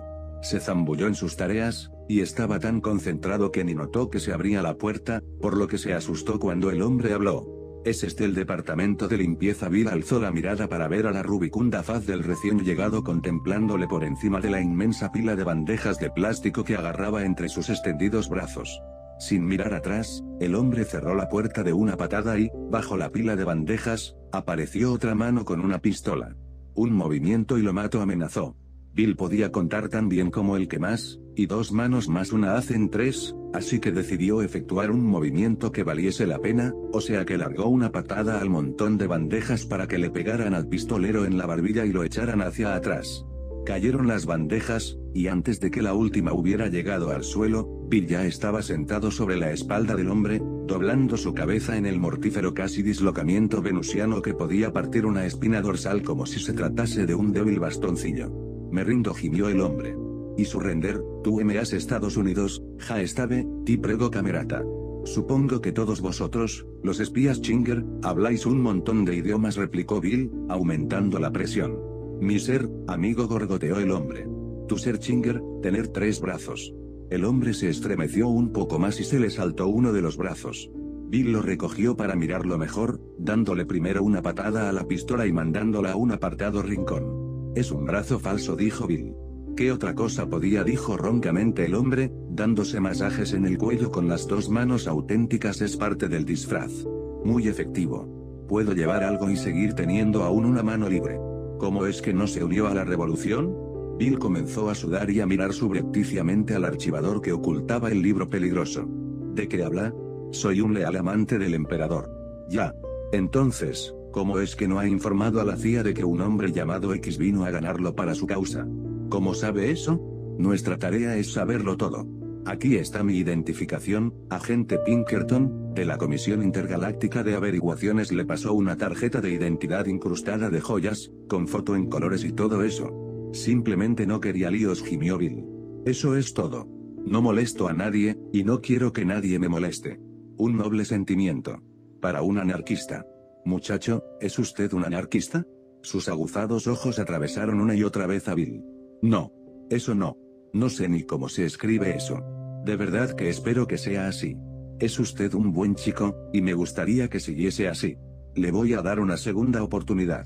Cuando vea de nuevo a X dígale que ha cambiado de idea y que quiere unirse al partido. Lo hará y trabajará para nosotros. Cada vez que haya una reunión, me telefoneará al regresar. Mi número está escrito en esta barra de caramelo. Lanzó un envoltorio sobre la mesa. Memorícelo, y después se la come. ¿Queda todo claro? No. No quiero hacerlo. Lo hará, o mandaré que lo fusilen por ayudar al enemigo antes de que pase una hora. Durante el tiempo que nos informe, le pagaremos 100 pavos al mes. Por adelantado. Por adelantado el montón de billetes aterrizó en el escritorio. Eso es por este mes. Vea de ganárselo. Se metió el brazo extra bajo otro real, recogió las bandejas y se fue. A medida que Bill pensaba en ello, más nervioso estaba al ver el lío en que lo habían metido. Lo último que deseaba era ser mezclado en una revolución ahora que había logrado paz, seguridad, y una cantidad ilimitada de desperdicios, pero no, no lo dejaban en paz. Si no se unía al partido, la CIA no lo dejaría en paz, y una vez descubriesen su verdadera identidad ya podía considerarse muerto pero aún había la posibilidad de que X se olvidase de él y no regresase, y, si no se lo pedían, ¿cómo iba a afiliarse? Se agarró a este clavo ardiendo y se sumergió en su trabajo para olvidarse de los problemas. Casi de inmediato, halló un filón en los archivos de desperdicios. Tras una cuidadosa comprobación, averiguó que su idea no había sido intentada antes. Le llevó menos de una hora el reunir el material que necesitaba y, menos de tres horas más tarde, tras interrogar a todos los que encontraba y caminar interminables kilómetros, logró hallar la oficina de basurero. Ahora ya puedes buscarte el camino de regreso, gruñó este. ¿O es que no puedes ver que estoy ocupado? Con temblorosos dedos, se sirvió otro medio vaso de viejo veneno orgánico y lo tragó de un sorbo. Puedes olvidarte de tus problemas. ¿Y qué te crees que estoy haciendo? Esfúmate. No sin haberte enseñado esto. Una nueva manera de sacarse de encima las bandejas de plástico. Basurero se tambaleó, poniéndose en pie, y la botella cayó, sin que tratase de retenerla, al suelo, donde su contenido, al derramarse, comenzó a hacer un agujero en el revestimiento de teflón. ¿Hablas en serio? ¿Es positivo? ¿Tienes una nueva solución? Positivo. Desearía no tener que hacer esto. Basurero se estremeció y tomó de un estante una jarra marcada serenador, la cura instantánea para la embriaguez. No debe de tomarse sin receta médica y una póliza de seguro de vida. Extrajo una píldora moteada, del tamaño de una nuez, la miró, se estremeció, y luego la tragó con un dolorido gulp. Instantáneamente, todo su cuerpo comenzó a vibrar y cerró los ojos cuando algo hizo GMMMMMFF en su interior y una débil columna de humo surgió de sus orejas. Cuando abrió de nuevo los ojos, estos tenían un brillante color escarlata, pero estaban sobrios. ¿Qué es? preguntó roncamente. ¿Sabes lo que es esto? le preguntó Bill, lanzando un grueso volumen sobre el escritorio. El listín de teléfonos de la ciudad de Estor es de Lord B en Proción 2 y, según dice en la portada. ¿Sabes cuántos directorios telefónicos viejos tenemos? Mi mente se niega a pensar en ello. Continuamente están cambiándolos, y nosotros recibimos los viejos. ¿Y qué? Te lo voy a enseñar. Tienes algunas bandejas de plástico. Bromeas Basurero abrió un armario empotrado y de él cayeron con estrépito centenares de bandejas. Estupendo. Ahora yo pondré algunas cosas más, algo de papel de embalar, cordel y cartón tomados de un montón de desperdicios, y ya tendremos todo lo que necesitamos. Si llamas a un robot de trabajos generales, te demostraré el siguiente paso de mi plan. Un traje bot, son dos largos y un corto basurero silbó con fuerza con su silbato silencioso, y luego gimió y se aferró la cabeza hasta que dejó de vibrar. Se abrió la puerta de un empellón y por ella apareció un robot, cuyos brazos y tentáculos vibraban expectantes. Bill señaló. Al trabajo, robot. Toma 50 de esas bandejas, empaquétalas con cartón y papel, y atalas bien aseguradas con el cordel. Zumbando con electrónica dicha, el robot se abalanzó y un momento más tarde, un perfecto paquete se hallaba en el suelo. Bill abrió el listín al azar y señaló un nombre. Ahora pon la dirección que te señalo, marca el paquete como regalo gratuito, sin impuestos. Y mándalo por correo. De uno de los dedos del robot surgió un rotulador, con el que rápidamente copió la dirección en el paquete, lo pesó balanceándolo en un brazo, lo franqueó con la franqueadora del escritorio de basurero, y lo lanzó limpiamente por el buzón de la pared. Se o el chuf del soplido cuando el tubo neumático se lo llevó hacia los niveles superiores. La boca de basurero estaba desencajada mientras seguía la rápida desaparición de las 50 bandejas, así que Bill redondeó su argumentación. El trabajo robótico para el empaquetado es gratuito, las direcciones nos salen gratis, y también los materiales de embalado.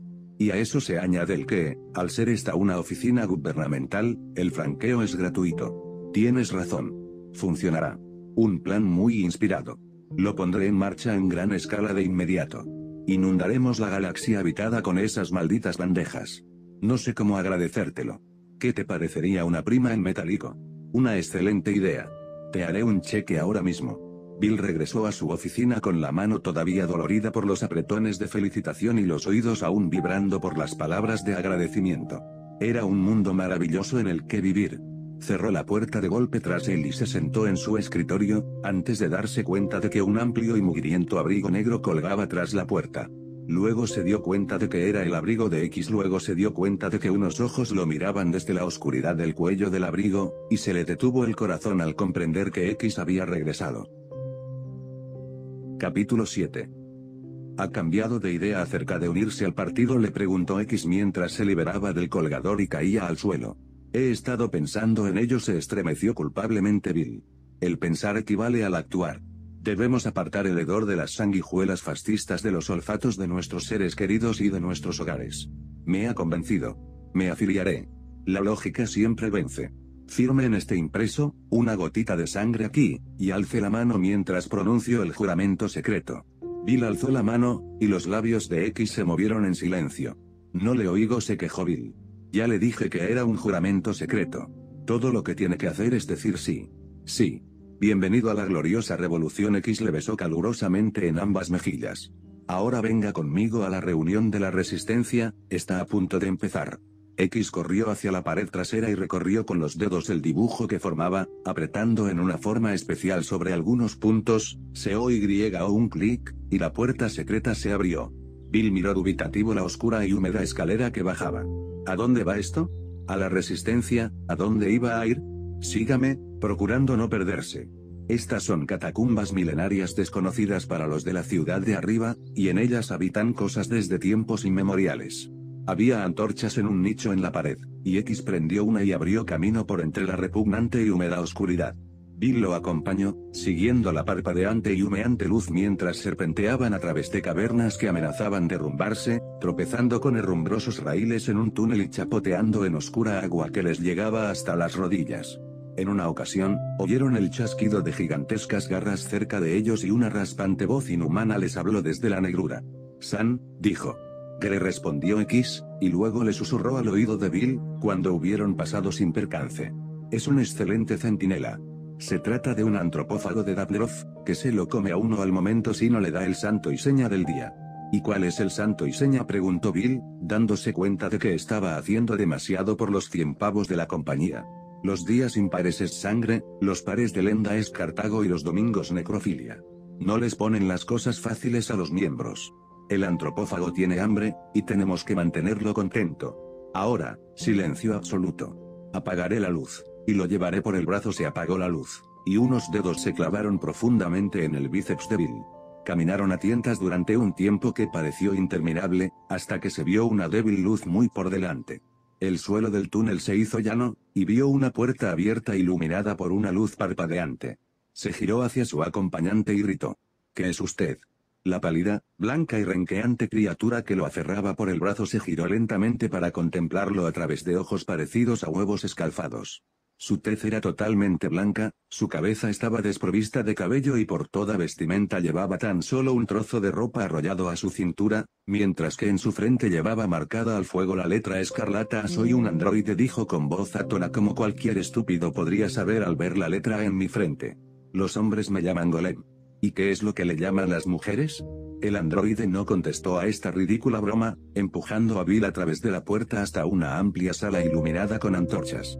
Bill dio una mirada, con los ojos desorbitados, a su alrededor, y trató de escapar, pero el androide estaba bloqueando la puerta.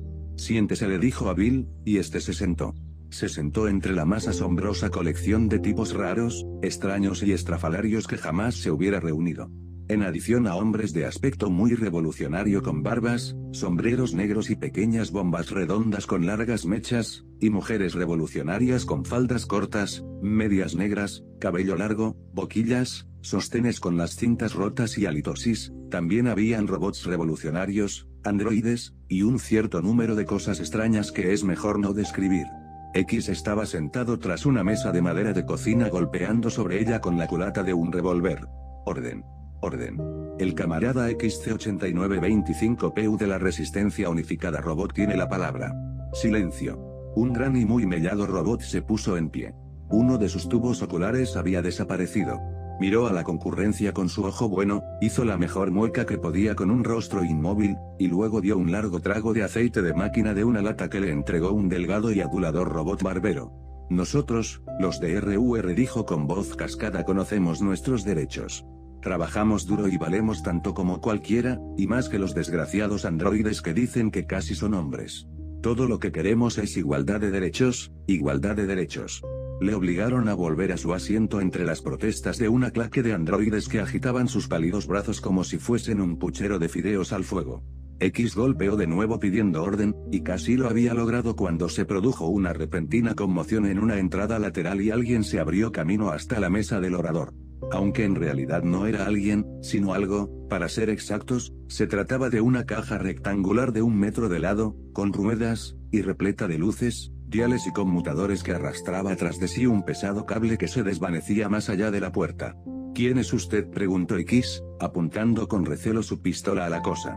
Soy el representante de los computadores y cerebros electrónicos de Elior, unidos en comité para obtener igualdad de derechos según la ley.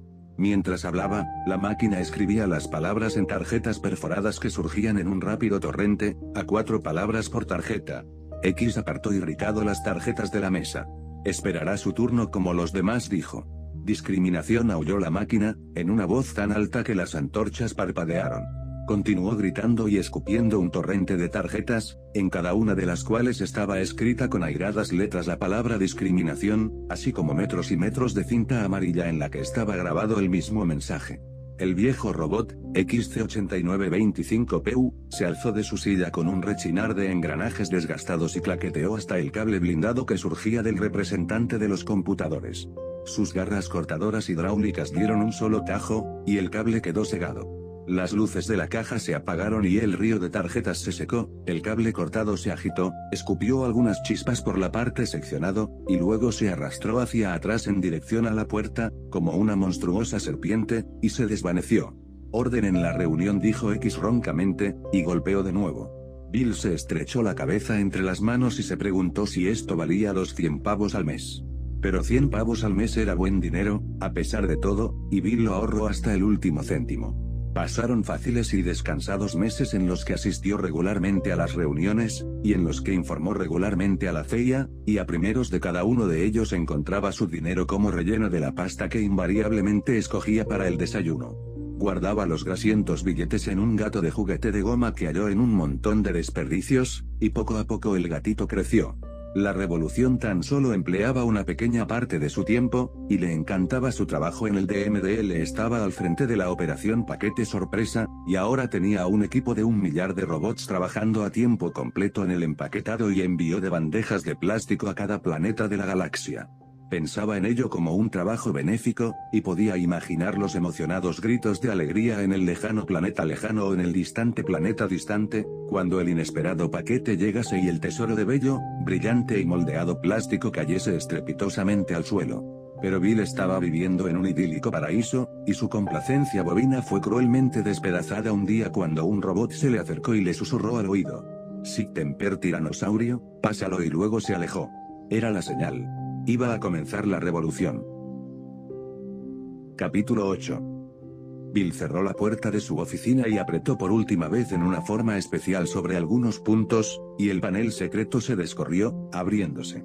Realmente ya no se descorría, sino que se desplomaba con un tremendo estrépito, y ya lo había usado tanto durante aquel feliz año como agente de saneamiento que hasta cuando estaba cerrado dejaba pasar una muy perceptible corriente de aire que le daba en el cogote pero ya no sería necesario mantener el secreto, había llegado al fin la crisis que tanto le había preocupado, y sabía que se acercaban grandes cambios, fuera cual fuese el resultado de la revolución, y la experiencia le había enseñado que los cambios siempre eran para empeorar. Con piernas pesadas e inseguras, trastabilló por las cavernas, tropezó con los herrumbrosos raíles, vadeó el agua, y dio la contraseña al invisible antropófago que hablaba con la boca llena, por lo que casi no se le entendía. Alguien, en la excitación del momento, había dado un santo y seña equivocado. Bill se estremeció, esto era un mal presagio para el porvenir. Como de costumbre, Bill se sentó junto a los robots, buenos y sólidos tipos con una educación intrínseca, por su construcción, a pesar de sus tendencias revolucionarias. Mientras X martilleaba pidiendo silencio, Bill se preparó para la prueba. Durante meses el agente Pinkerton le había estado pidiendo más información que la simple fecha de las reuniones, temario discutido y número de asistentes. Insistía en pedir hechos, hechos, hechos, que hiciera algo por ganarse el dinero. Tengo una pregunta, dijo Bill en voz alta pero temblorosa, mientras sus palabras caían como bombas en el repentino silencio que siguió al frenético golpear de X. No es tiempo para preguntas, le respondió impacientemente X. Ha llegado la hora de actuar. No me importa el actuar, dijo Bill, nerviosamente consciente de que todos los ojos, humanos, electrónicos y criados en probetas, lo contemplaban. Pero desearía saber para quién lo voy a hacer. Nunca nos ha dicho quién va a suceder al emperador cuando éste haya desaparecido. Nuestro líder es un hombre llamado X, eso es todo lo que necesita saber. Pero ese es también el nombre de usted. Al fin está adquiriendo un rudimento de la ciencia revolucionaria.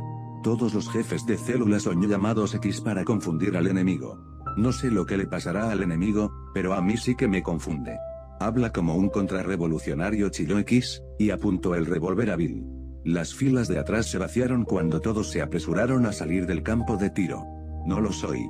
Soy tan buen revolucionario como cualquiera de los presentes. Arriba la revolución dio el saludo del partido, con las dos manos agarradas sobre la cabeza, y se sentó apresuradamente. Todos los demás saludaron a su vez y X, algo aplacado, apuntó con el cañón de su arma a un gran mapa colgado de la pared. Ese es el objetivo de nuestra célula, la planta de energía imperial en la plaza chauvinística. Nos concentraremos cerca de ella en pelotones, y luego nos uniremos para un ataque conjunto a las 16 horas. No se espera que haya resistencia, pues la planta no está vigilada.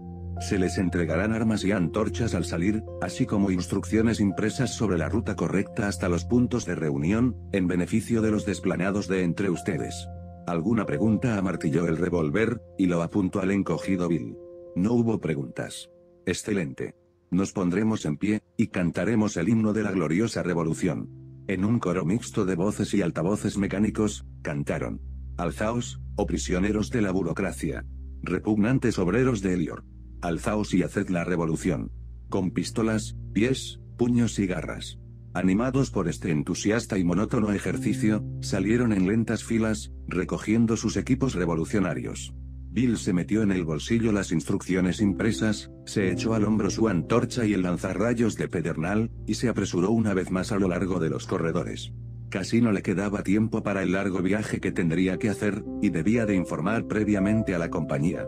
Esto era más fácil de decir que de hacer, y comenzó a sudar mientras marcaba de nuevo el número. Era imposible conseguir línea ahí, o bien las centralitas estaban ocupadas, o bien los revolucionarios habían comenzado a interferir las comunicaciones. Suspiró tranquilizado cuando las insolentes facciones de Pinkerton llenaron por fin la pequeña pantalla. ¿Qué pasa? He descubierto el nombre del líder de la revolución. Es un hombre llamado X y pretende una prima por eso, estúpido. Esa información está en los archivos desde hace meses. ¿Algo más? Bueno, la revolución va a comenzar a las 16 horas, y pensé que le gustaría saberlo. Esto le demostrará lo que valgo, pensó. Pinkerton bostezó. ¿Eso es todo? Para su conocimiento, le diré que esa información ya está pasada. No es usted el único espía que tenemos, aunque probablemente sea el peor. Ahora escuche. Anótese esto en algún sitio para que no lo olvide. Su célula tiene que atacar la planta de energía imperial. Vaya con ellos hasta la plaza, luego busque una tienda con el letrero jamones hebreos congelados, donde estará escondida nuestra unidad. Vaya allí y preséntese a mí, ¿entiende? Afirmativo se cortó la comunicación, y Bill buscó un trozo de papel de embalar y una cuerda con los que envolver la antorcha y el lanzarrayos hasta que llegara el momento de usarlos. Tenía que apresurarse, quedaba poco tiempo para la hora cero, y la distancia a recorrer era mucha y la ruta muy complicada. Casi ha llegado tarde le dijo Golem el androide, cuando Bill casi se derrumbó en el callejón sin salida que era el punto de reunión. No me grites, hijo de probeta jadeó Bill, rasgando el papel del paquete. Dame lumbre para mi antorcha. Ardió una cerilla, y en un instante se prendieron y humearon las embreadas antorchas. La tensión creció mientras el segundero se acercaba a la hora, y los pies se agitaron nerviosos sobre el pavimento metálico. Bill saltó cuando sonó el agudo toque de un silbato, y entonces surgieron del callejón en una oleada humana e inhumana, con un gutural grito surgiendo de gargantas y altavoces, con las armas dispuestas. Corrieron por pasillos y corredores, con chispas como lluvia cayendo de sus antorchas. Eso era la revolución. Bill se dejó llevar por la emoción y la masa de cuerpos, y vitoreó tan enérgicamente como los demás, y apretó la antorcha primero contra una pared y luego contra una de las sillas de una acera rodante, lo cual hizo que se apagara, pues todo lo que hay en él y oro está hecho en metal o es incombustible. No había tiempo de volverla a encender, y la arrojó a lo lejos cuando surgían a la inmensa plaza que se hallaba frente a la planta de energía. La mayor parte de las antorchas se habían ya apagado, pero no las necesitarían, tan solo tendrían que utilizar ahora sus lanzarrayos de pedernal para volarle las tripas a cualquier sucio lacayo del emperador que tratase de interponerse en su camino. Otros grupos estaban surgiendo de las calles que llevaban a la plaza, uniéndose en una arrolladora masa ciega que atronaba hacia las tétricas paredes de la estación de energía. Un letrero luminoso que parpadeaba llamó la atención de Bill. Decía, jamones hebreos congelados, y tragó saliva al volverle la memoria. Por Arimán que se había olvidado de que era un espía de la CIA, y había estado a punto de unirse al ataque a la planta de energía. Aún tenía tiempo de escapar antes de que cayese el contragolpe. Sudando bastante, comenzó a abrirse camino por entre la multitud hacia el letrero, luego se halló al borde de la misma y corriendo hacia la seguridad. No era tarde todavía.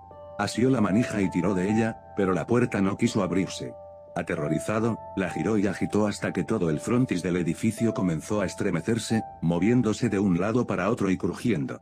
Se lo quedó contemplando en paralizado horror, hasta que un fuerte siseo le llamó la atención.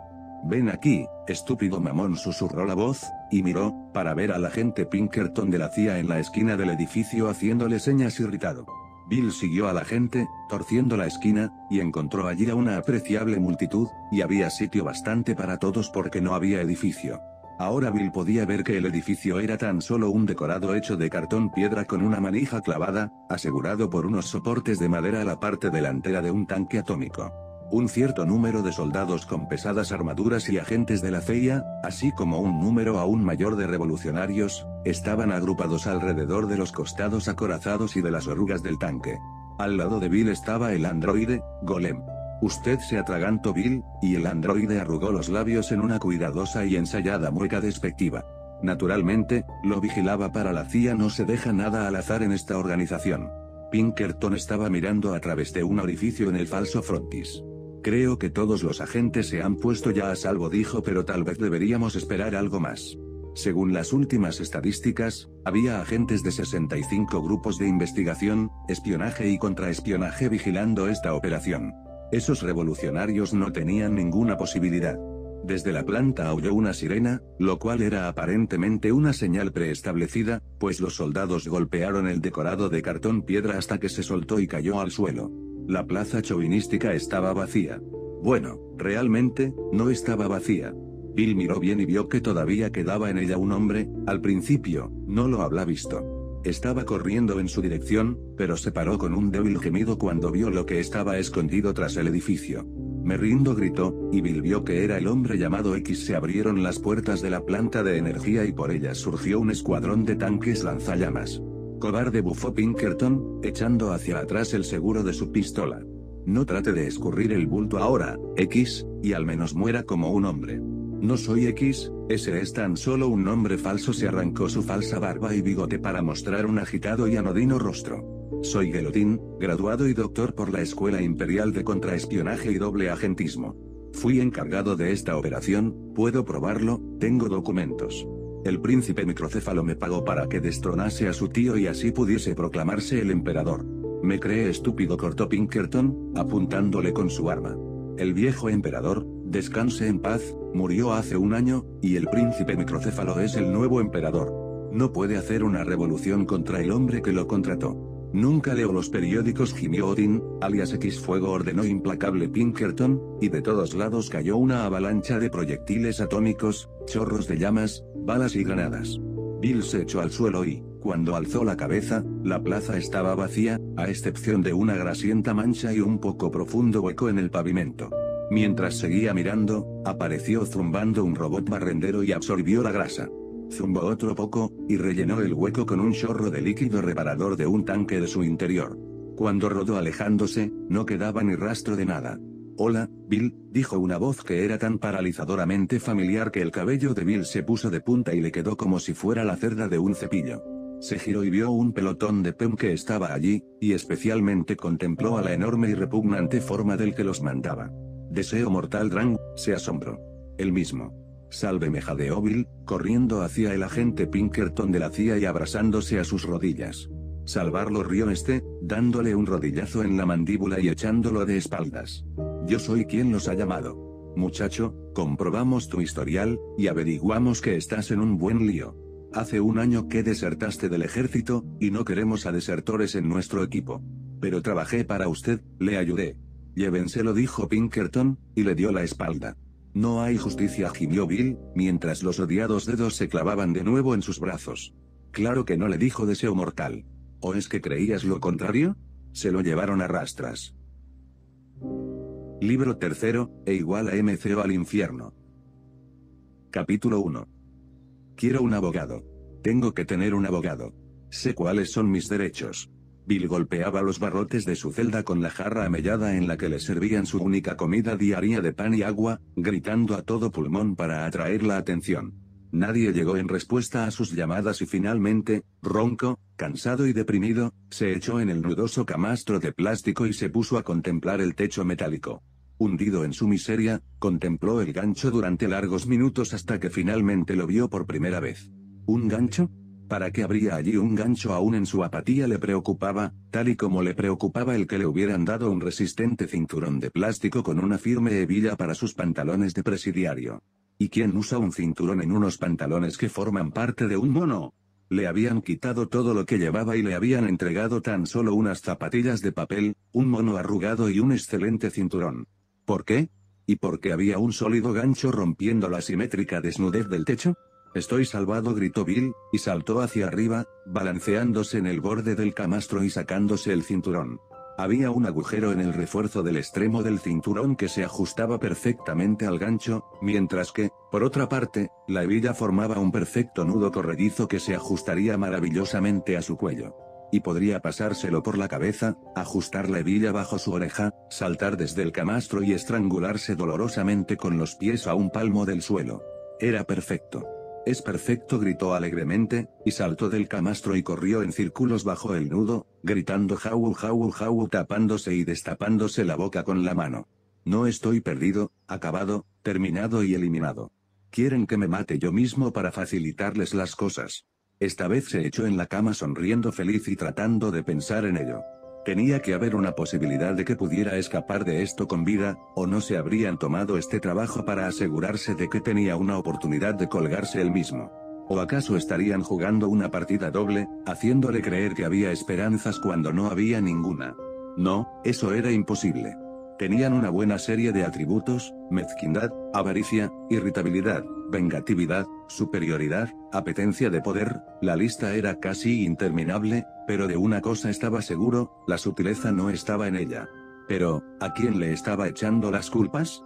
Por primera vez en su vida, Bill se preguntó quiénes serían esos ellos a los que siempre se les echan las culpas. Todo el mundo los culpaba a ellos de todo, todo el mundo sabía que ellos traían los problemas. Hasta sabía por experiencia propia cómo eran ellos. Pero, ¿quién eran ellos? Se oy o raspar una pisada en la parte exterior de la puerta, y cuando miró vio a Deseo Mortal Drank contemplándolo con resentimiento. ¿Quién son ellos? preguntó Bill. Ellos son cualquiera que quiere formar parte de su grupo, le contestó filosóficamente Deseo Mortal, haciendo resonar uno de sus colmillos. Ellos son tanto un estado mental como una institución. No me suelte esas paparruchadas místicas. Lo que quiero es una respuesta concreta a una pregunta concreta. Estoy contestándote concretamente, le dijo con toda sinceridad Deseo Mortal. Mueren y son reemplazados, pero la institución de los sellos continúa. Lamento haber hecho esa pregunta, dijo Bill, deslizándose hasta que pudo susurrar por entre los barrotes necesito un abogado. Deseo mortal, viejo camarada, ¿puede hallarme un buen abogado? Ya nombrarán un abogado para representarte. Bill produjo el sonido más soez que conocía. Claro, y todos sabemos lo que me pasará con uno de esos abogados. Necesito un abogado que me ayude. Tengo dinero para pagarle. Bueno, ¿y por qué no lo dijiste antes? Deseo Mortal se puso sus gafas de montura de oro y hojeó lentamente las páginas de una pequeña agenda. Me llevaré un 10% de comisión por ocuparme de este asunto. Afirmativo. Bien. ¿Quieres un abogado barato y honesto o uno caro y deshonesto? Tengo 17.000 pavos escondidos donde nadie puede encontrarlos.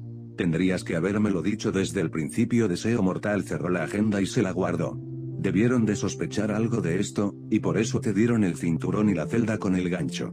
Con esa cantidad de dinero puedes contratar al mejor de todos. ¿Y quién es? Abdul O'Brien Cohen. Mándelo a buscar.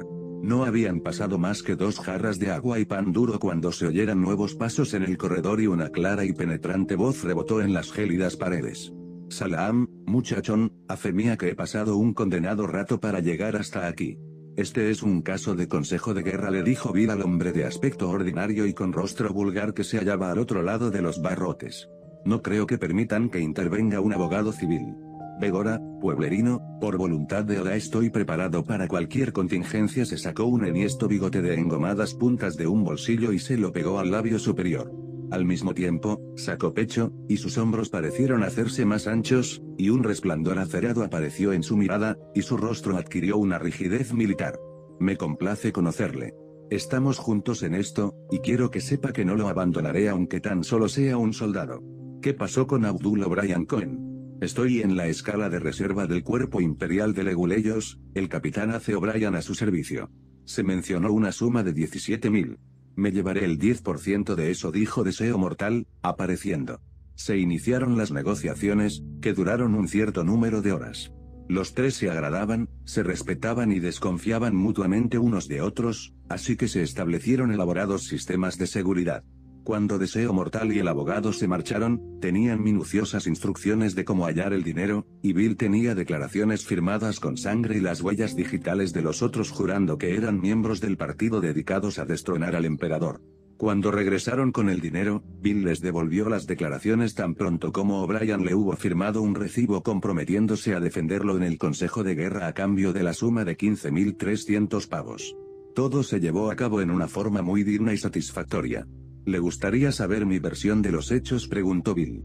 Naturalmente que no, no tiene nada que ver con las acusaciones. Cuando se alistó en el ejército firmó una renuncia a todos sus derechos humanos. Pueden hacer lo que quieran con usted. La única ventaja que tiene es que también ellos son prisioneros de su propio sistema, y deben regirse por el complejo y autocontradictorio código de leyes que han edificado durante siglos. Quieren fusilarlo por desertor, y han preparado una acusación irrebatible. Entonces me fusilarán. Quizá, pero ese es un riesgo que tenemos que correr. ¿Tenemos? ¿Recibirá usted la mitad de los disparos? No se haga el listo cuando hable con un oficial, so cerdo. Confíe en mí, tenga fe, y espere a que cometan algunos errores. Después de esto, solo fue cosa de marcar el tiempo que pasó hasta el juicio. Bill supo que ya estaba cerca cuando le dieron un uniforme con la insignia de especialista en fusibles de primera clase en la manga. Luego llegó la guardia marcando el paso, se abrió la puerta, y Deseo Mortal le hizo una seña para que saliera. Marcharon juntos, y Bill sacó todo el placer que pudo de cambiar el paso para hacer equivocarse a sus guardianes. Pero una vez hubo traspuesto la puerta de la corte, adoptó una postura marcial y trató de parecer un viejo luchador con sus medallas tintineando en el pecho. Había una silla vacía al lado de un muy arreglado, uniformado y militar capitán O'Brien. Así está bien le dijo O'Brien. Siga con el papel de veterano, gáneles en su propio juego. Se pusieron en pie cuando entraron los oficiales de la corte. Bill y O'Brien estaban sentados a un extremo de una larga mesa de plástico negro, mientras que al otro extremo de la misma se hallaba el fiscal, un mayor canoso y de aspecto severo que llevaba un corsé barato. Los diez oficiales de la corte se sentaron en el lado largo de la mesa, desde donde podían mirar ceñudos a la audiencia y a los testigos. Comencemos dijo el presidente de la corte, un almirante de la flota, calvo y regordete, con la adecuada solemnidad que se inicie el juicio, que se cumpla la justicia en el más breve plazo, y que se halle culpable al prisionero para que sea fusilado. Protesto dijo O'Brien, saltando en pie.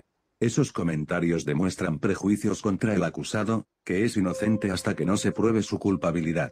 Se deniega la protesta el mazo del presidente golpeó la mesa. Se impone una multa de 50 pavos al abogado defensor por interrupción injustificada. El acusado es culpable, como demostrarán las pruebas, y será fusilado. Se hará justicia. Así que van a jugar de esa manera murmuró O'Brien entre semicerrados labios. Puedo enfrentarme con ellos en cualquier terreno, siempre que conozca las reglas del juego. El fiscal ya había comenzado su intervención inicial con monótona voz y por tanto probaremos que el especialista en fusibles de primera clase Bill sobrepasó alevosamente el permiso que le había sido concedido oficialmente durante un periodo de nueve días, y consiguientemente resistió su arresto y escapó de quienes pretendían retenerlo, eludiendo con éxito su persecución, tras lo cual permaneció ausente por un periodo de más de un año estándar, por lo que consecuentemente es culpable de deserción. Culpable hasta el cuello gritó uno de los oficiales de la corte, un mayor de caballería con el rostro rojizo y un monóculo negro, saltando en pie y haciendo caer su silla. Voto culpable. Fusilen a este hijo de madre. Estoy de acuerdo, Sam aceptó el presidente, dando un golpecito con su mazo. Pero tenemos que fusilarlo según las reglas, así que todavía nos llevará un tiempo. Todo eso es falso si se olvida su abogado. Los hechos son. No se preocupe por los hechos, Bill, a nadie de aquí le preocupan. Los hechos no pueden alterar el caso y por consiguiente pedimos la pena máxima, la muerte dijo finalmente el fiscal, arrastrándose hasta el fin de su intervención. ¿Va a hacernos perder nuestro tiempo con una intervención, capitán? preguntó el presidente, fulminando a O'Brien con la mirada. Tan solo unas pocas palabras, si la corte me permite. Se produjo una repentina conmoción entre los espectadores y una mujer desmañada, con una toquilla sobre la cabeza, aferrando contra su pecho un paquete envuelto en una manteleta, corrió adelantándose hasta la mesa. Excelencias, jadeó no me quiten a mi Bill, la luz de mi vida. Es un buen hombre, y todo lo que hizo fue solo por mí y por mi pequeñín alzó el paquete, y se pudo oír un débil gemido. Cada día quería dejarme y regresar a su deber, pero yo estaba enferma y el niñito estaba enfermo, y le suplicaba con lágrimas en los ojos que se quedase. Sáquenla de aquí. La maza golpeó estrepitosamente y él se quedaba, jurando siempre que sería tan solo por otro día más, sabiendo siempre mi amor que si nos dejaba íbamos a morir de hambre, su voz fue apagada por la masa de los pemuniformados de gala que se la llevaron forcejeando hacia la puerta, y benditas sean sus excelencias si lo liberan, pero si lo condenan, malditos almas negras, que se pudran sus cuerpos y ardan en el infierno, se cerró la puerta y se cortó su voz. Por en eso de los archivos dijo el presidente, y le lanzó una airada mirada al abogado defensor. Y si creyese que usted tenía algo que ver en este asunto, lo haría fusilar junto con su cliente. O'Brien aparecía como el hombre más inocente, con los dedos sobre el pecho y la cabeza echada atrás, comenzando un comentario inocente, cuando se produjo otra interrupción, un viejo se puso en pie en uno de los bancos del público y agitó sus brazos para llamar la atención. Escuchadme, todos y cada uno de vosotros. La justicia debe de ser cumplida, y yo soy su instrumento. Había pensado guardar mi silencio y permitir que un hombre inocente fuera ejecutado, pero no puedo hacerlo. Bill es mi hijo, mi único hijo, y le rogué olvidara su deber para ayudarme, pues muriéndome como estaba de cáncer, deseaba verle por última vez, pero él se quedó para cuidarme, se dio una lucha cuando los pemasieron al hombre y comprobaron que estaba encadenado al banco. Sí, lo hizo, me cocinó gachas y me las hizo comer, y lo hizo también que poco a poco fui recuperándome hasta que ya me ven ahora, soy un hombre sano, curado por las gachas cocinadas por mi leal hijo. Y ahora mi niño tiene que morir porque me salvó, pero esto no será así. Tomad mi pobre vieja vida inútil a cambio de la suya resopló un cortafríos atómico, y el viejo fue lanzado por la puerta. Ya está bien. Ya es demasiado aulló el enrojecido presidente de la corte, golpeando con tal fuerza que rompió el mazo y lanzó los fragmentos por la sala. Vacíen la sala testigos. Esta corte ordena que el resto de espectadores del juicio sea llevado a través de las normas de la jurisprudencia sin que sean admitidos ni testigos ni pruebas. Paseó una rápida mirada por sus cómplices, que asintieron en solemne acuerdo por lo tanto, se halla al encausado culpable y será fusilado tan pronto como puedan arrastrarlo al pabellón de fusilamientos. Los oficiales de la corte estaban ya levantándose de sus sillas cuando la lenta voz de O'Brien los detuvo. Naturalmente, cae dentro de la jurisdicción de esta corte el resolver la causa en la forma así prescrita, pero también es necesario citar el artículo precedente en el cual se basa la decisión. El presidente suspiró y se sentó de nuevo. Desearía que no tratase de ponerse difícil, capitán, conoce usted también los reglamentos como yo, pero sí insiste. Pablo, léaselo. El experto legal pasó las hojas de un grueso volumen sobre la mesa, encontró el lugar, señalándolo con el dedo, y comenzó a leer. Artículos de guerra, ordenanzas militares, párrafo, página, etcétera, etcétera, sí, aquí está, párrafo 298b. Si cualquier soldado de tropa se ausenta de su puesto designado por un periodo de más de un año estándar, será considerado como culpable de deserción aunque se halle ausente en el juicio, y su castigo será una muerte dolorosa. Eso parece bastante claro.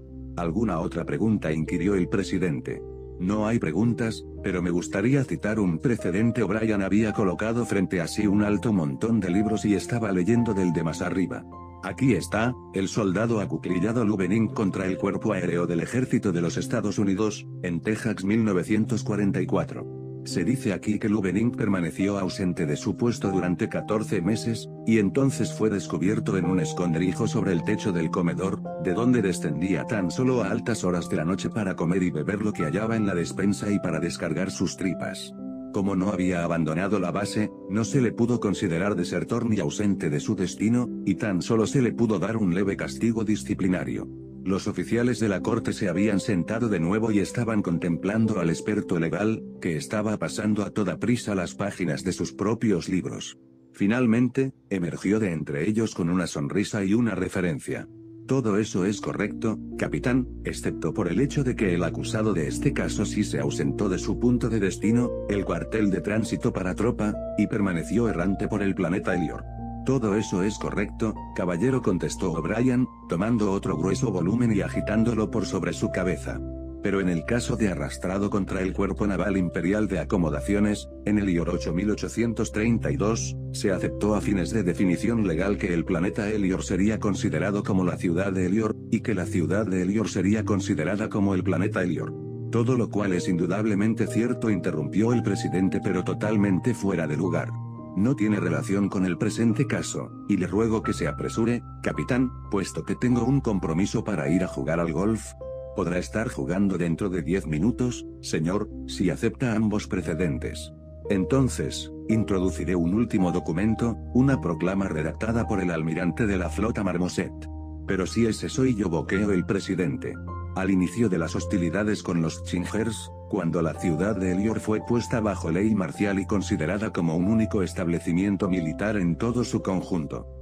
Por consiguiente, someto a la decisión de la Corte el hecho de que el acusado es inocente del delito de deserción porque no salió de este planeta, y por consiguiente nunca abandonó esta ciudad, y por consiguiente jamás salió del puesto al que estaba destinado. Cayó un pesado silencio, que fue finalmente roto por la preocupada voz del presidente cuando se volvió hacia el experto legal. ¿Es cierto lo que dice este cochino, Pablo? ¿No podemos fusilar al tío ese? El experto legal estaba sudando copiosamente mientras rebuscaba enfebrecido por sus textos legales, hasta apartarlos finalmente y contestar con voz amargada. Es lo bastante exacto, y no hay forma de escaparnos de ello. Ese maldito pisaverde judeo-árabe irlandés nos tiene cogidos. El acusado es inocente de los cargos que se le imputan. ¿No habrá ejecución? preguntó uno de los oficiales de la corte con una voz aguda y entrecortado, y otro, más viejo, dejó caer la cabeza entre sus brazos y comenzó a sollozar. Bueno, pero no se va a escapar tan fácilmente, dijo el presidente, haciendo una mueca hacia Bill. Si el acusado estuvo en su puesto durante el pasado año, entonces tenía que haber estado de servicio. Y, durante ese año, durmió. Lo que significa que durmió estando de servicio. Por consiguiente, lo condeno a trabajos forzados en una prisión militar por un periodo de un año y un día, y ordeno que sea degradado a especialista en fusibles de séptima clase. Arránquenle los galones y llévenselo, me esperan en el campo de golf. Capítulo 2. La prisión de tránsito era un edificio provisional hecho de planchas de plástico atornilladas a torcidos marcos de aluminio, y estaba en el centro de un gran cuadrilátero. Ben con con las bayonetas casadas hacían la ronda alrededor del perímetro de seis alambradas electrificadas. Se abrieron las puertas múltiples por control remoto, y el robot esposador que lo había llevado hasta allí lo arrastró a través de ellas. Esta condenada máquina consistía en un robusto y macizo cubo de una altura que le llegaba hasta las rodillas y que rodaba sobre ruidosas orugas. De su parte superior surgía una barra terminada en unas esposas. Bill estaba encadenado a ellas. Era imposible escapar, pues si se intentaba forzar cualquier parte del robot este hacía estallar, sádicamente, una minibomba atómica que llevaba en su interior, volándose junto con su prisionero, así como cualquier otra persona que se hallase en los alrededores. Una vez dentro del edificio, el robot se detuvo, y no protestó cuando el sargento de guardia abrió las esposas. Tan pronto como fue soltado su prisionero, la máquina rodó, desvaneciéndose en su perrera. De acuerdo, chico listo, ahora estás a mi cargo, y eso significa que tendrás problemas, le espetó el sargento a Bill. Tenía la cabeza rapada, una mandíbula amplia y cubierta de cicatrices, y ojos pequeños y juntos en los que ardía la consumidora llama de la estupidez. Bill cerró sus propios ojos hasta que no fueron más que rendijas y lentamente alzó su brazo izquierdo derecho, flexionando el bíceps. El músculo de Tembo se hinchó y partió la delgada manga de la chaqueta de presidiario con un sonido rasgante. Luego, Bill señaló la cinta del dardo púrpura que llevaba clavada en el pecho. ¿Sabe cómo me gané esto? preguntó con una cortante voz atona.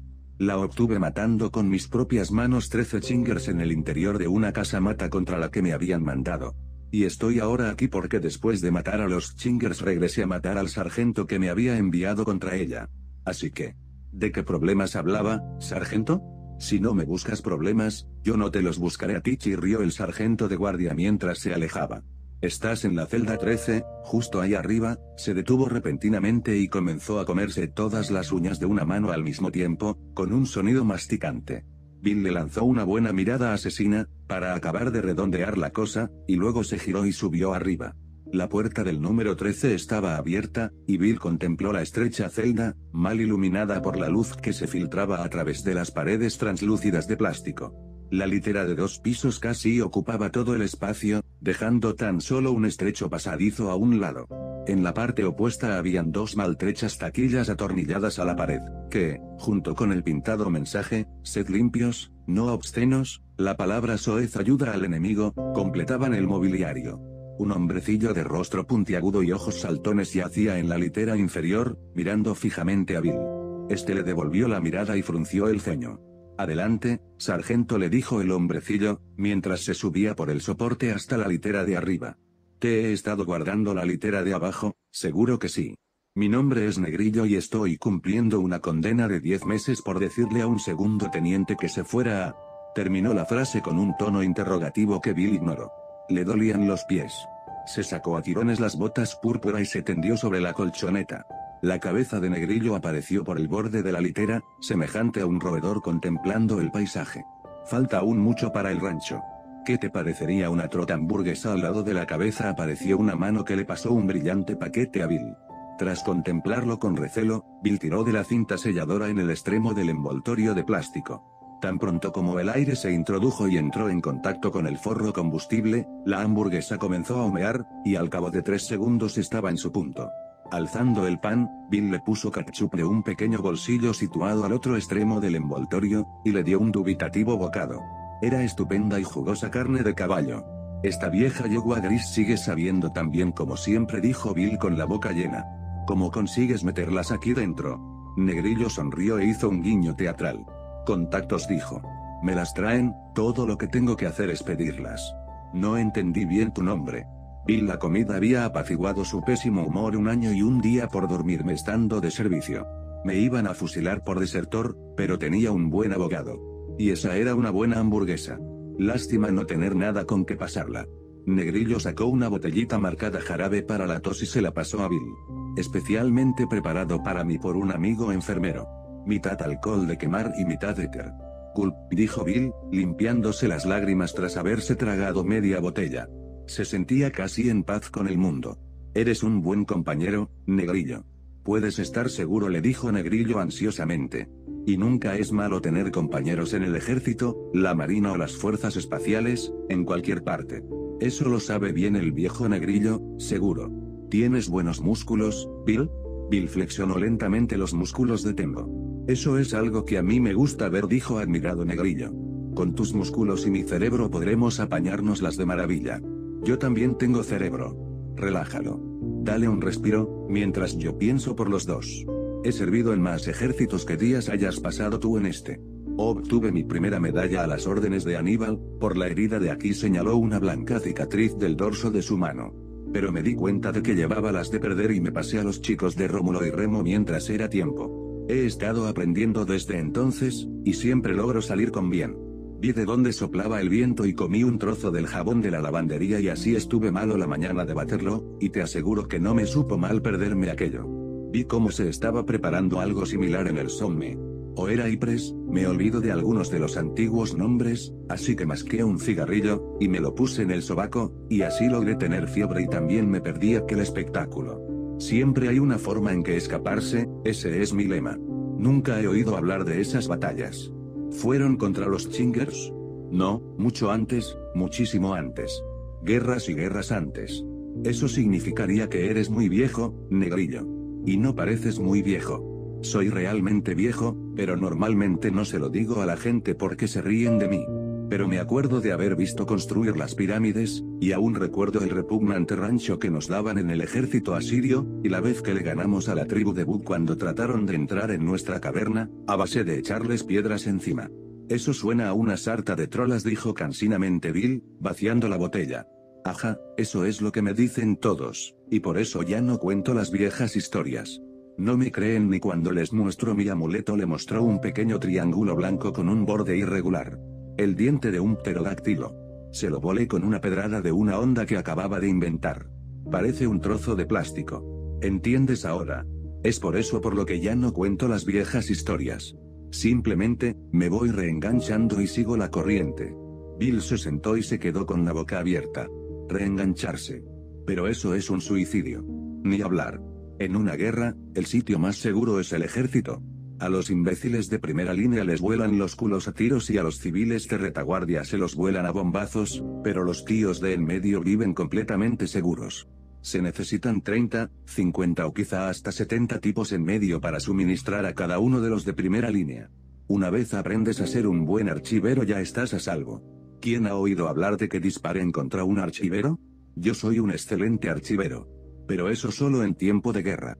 En tiempo de paz, cuando se equivocan y hay paz por un tiempo, es mejor estar con las tropas de combate. Tienen mejor comida, permisos más largos, y bien poco más que hacer. Viajan mucho. ¿Y qué pasa cuando comienza una guerra? Conozco 735 formas distintas de que me lleven al hospital. Me enseñarás un par, dijo Bill. Haría cualquier cosa por un compañero. Ya te las enseñaré por la noche, después de que nos hayan traído el rancho. Y el guardián que lo trae está siendo difícil acerca de un pequeño favor que le pedí. Muchacho, como me gustaría que se le partiese un brazo. ¿Qué brazo bichascó sus nudillos con un fuerte sonido? El que quieras. La prisión plasticasa era un centro de tránsito en donde guardaban a los prisioneros que llevaban de un lugar a otro. En ella se vivía una vida fácil y relajada que era disfrutada tanto por los guardianes como los prisioneros, sin que nada estropeara el tranquilo discurrir de los días.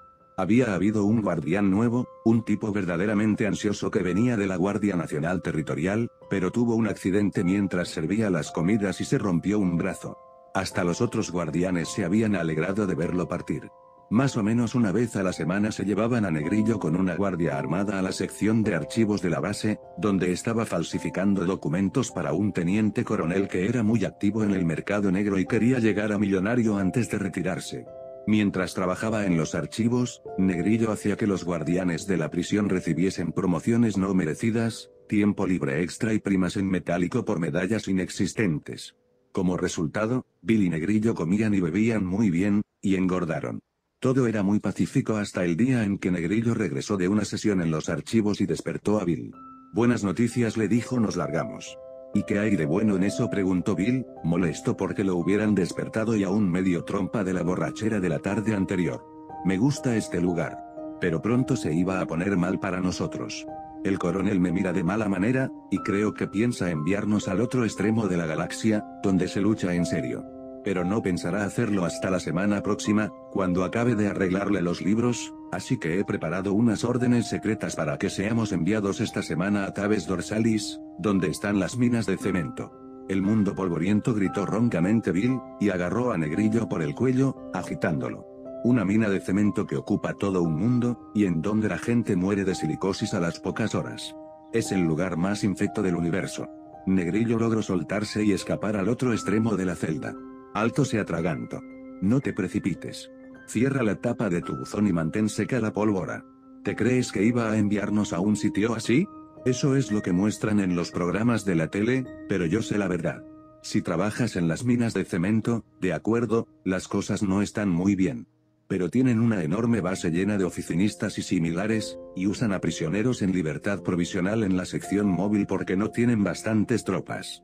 Cuando estaba trabajando en los archivos cambié tu clasificación de especialista en fusibles, que es un trabajo suicida, a conductor, y aquí tienes tu carnet de conducir que te autoriza para hacerlo con cualquier cosa, desde un monociclo hasta un tanque atómico de 89 toneladas. Así que tendremos trabajos fáciles y, además, toda la base cuenta con acondicionamiento de aire. Pero se estaba bien aquí se quejó Bill, mirando ceñudo la tarjeta de plástico que certificaba su actitud en el manejo de una serie de extraños vehículos que en muchos casos ni conocía de vista. Las cosas vienen y van, pero son todas iguales dijo Negrillo, empaquetando un pequeño equipaje. Comenzaron a darse cuenta de que algo andaba mal cuando la columna de prisioneros fue arrojada y encadenada con argollas y esposas, y arrastrada hasta el transporte espacial por un pelotón de PMDE combate. Moveos gritaban. Ya tendréis tiempo de relajaros cuando lleguemos a Taves Dorsalgia. ¿A dónde vamos? se atragantó Bill. Ya me oíste, salta, somamón. Me dijiste Taves Dorsalis le rezongó Bill a Negrillo, que estaba delante suyo en la cadena. Tabes dorsalgia es la base en Beniola donde hay los peores combates. Vamos a la lucha. Un error de escritura suspiró Negrillo. Uno no puede ganar siempre. Evitó la patada que le lanzó Bill, y luego esperó pacientemente mientras los PML lo dejaban sin sentido con sus porras y los arrastraban a bordo. Capítulo 3 Beniola, un mundo neblinoso de horrores innombrables arrastrándose en su órbita alrededor de la macabra estrella verde Hernia como algún repugnante monstruo estelar recién salido del pozo de la nada. ¿Qué secretos se ocultan entre sus nieblas eternas? ¿Qué horrores sin nombre ondulan y se estremecen en sus tenebrosas ciénagas y oscuros lagos sin fondo? Enfrentados con los inenarrables terrores de este planeta, los hombres se vuelven locos antes que enfrentarse con lo inafrontable. Beniola, mundo de pantanos, el cubir de los repugnantes e inimaginables venianos. Hacía calor, había humedad y hedía. La madera de las recién construidas chozas estaba ya blancuzca y comenzaba a pudrirse. Uno se sacaba los zapatos y, antes de que llegasen al suelo, los hongos ya crecían en su interior.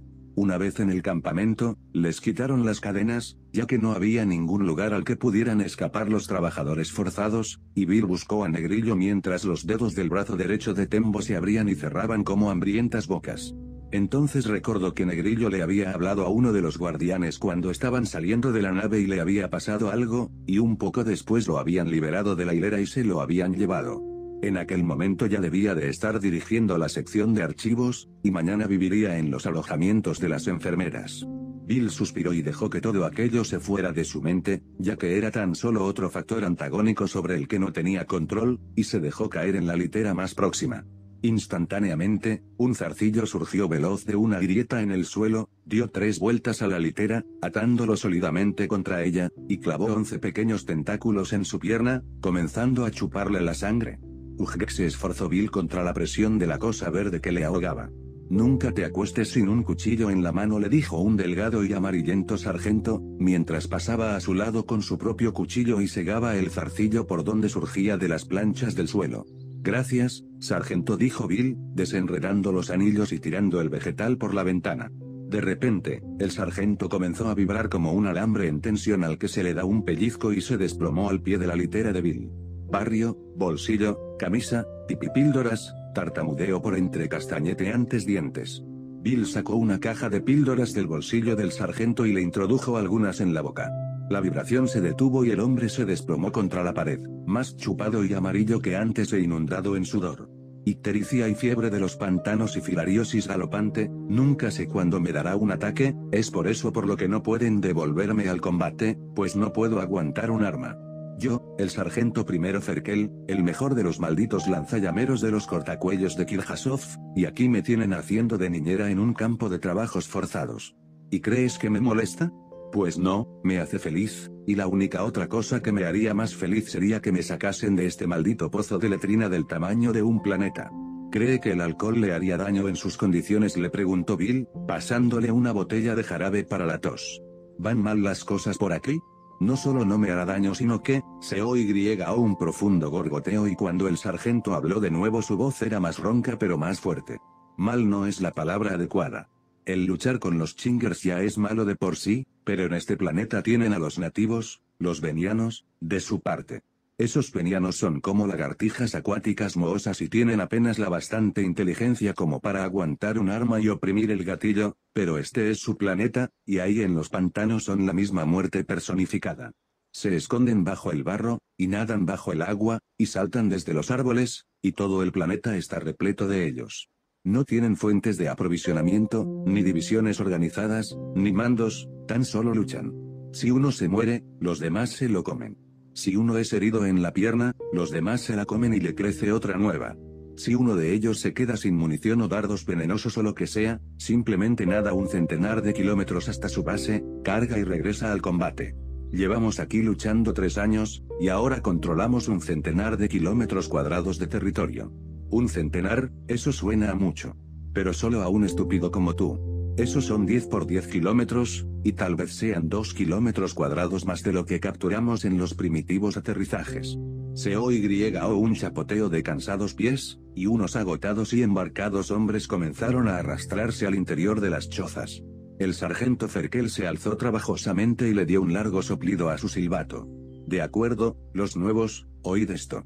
Habéis sido asignados a la escuadra B que ahora está formándose, escuadra que irá al pantano y acabará la tarea que estos insolentes cebollones de la escuadra han comenzado esta mañana. Trabajaréis como los buenos allá afuera. No voy a apelar a vuestra lealtad, vuestro honor y vuestro sentido del deber, sacó su pistola atómica de la funda y abrió de un tiro un boquete en el techo, por el que de inmediato comenzó a gotear la lluvia. Tan solo voy a apelar a vuestro instinto de supervivencia, porque a todo aquel que se escabulla, se haga el remolón o no de todo de sí, le volaré la tapa de los sesos. Ahora, afuera. Con los dientes desnudos y las manos temblando, parecía lo bastante enfermo y de mala uva como para hacerlo.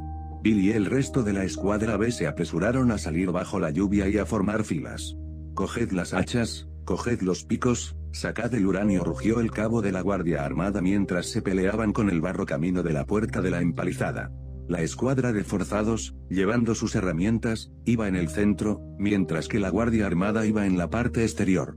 La Guardia no estaba allí para impedir que algún prisionero escapase, sino para darles una relativa protección contra el enemigo. Se arrastraron lentamente a lo largo del sendero de árboles abatidos que serpenteaba por el pantano. De pronto, se oyó un silbido en lo alto y pasaron relampagueantes transportes pesados. Hoy tenemos suerte, dijo uno de los prisioneros más veteranos. Envían la infantería pesada otra vez. No sabía que les quedase alguna. ¿Quieres decir que capturarán más territorio? preguntó Bill. Ni hablar, todo lo que consiguen es que los maten. Pero, mientras los aniquilan, nos presionarán menos y tal vez podamos trabajar sin perder demasiados hombres. Sin que se lo ordenasen, se detuvieron todos para mirar cómo la infantería pesada caía como lluvia en los pantanos de enfrente, y se desvanecía con la facilidad de las gotas de agua.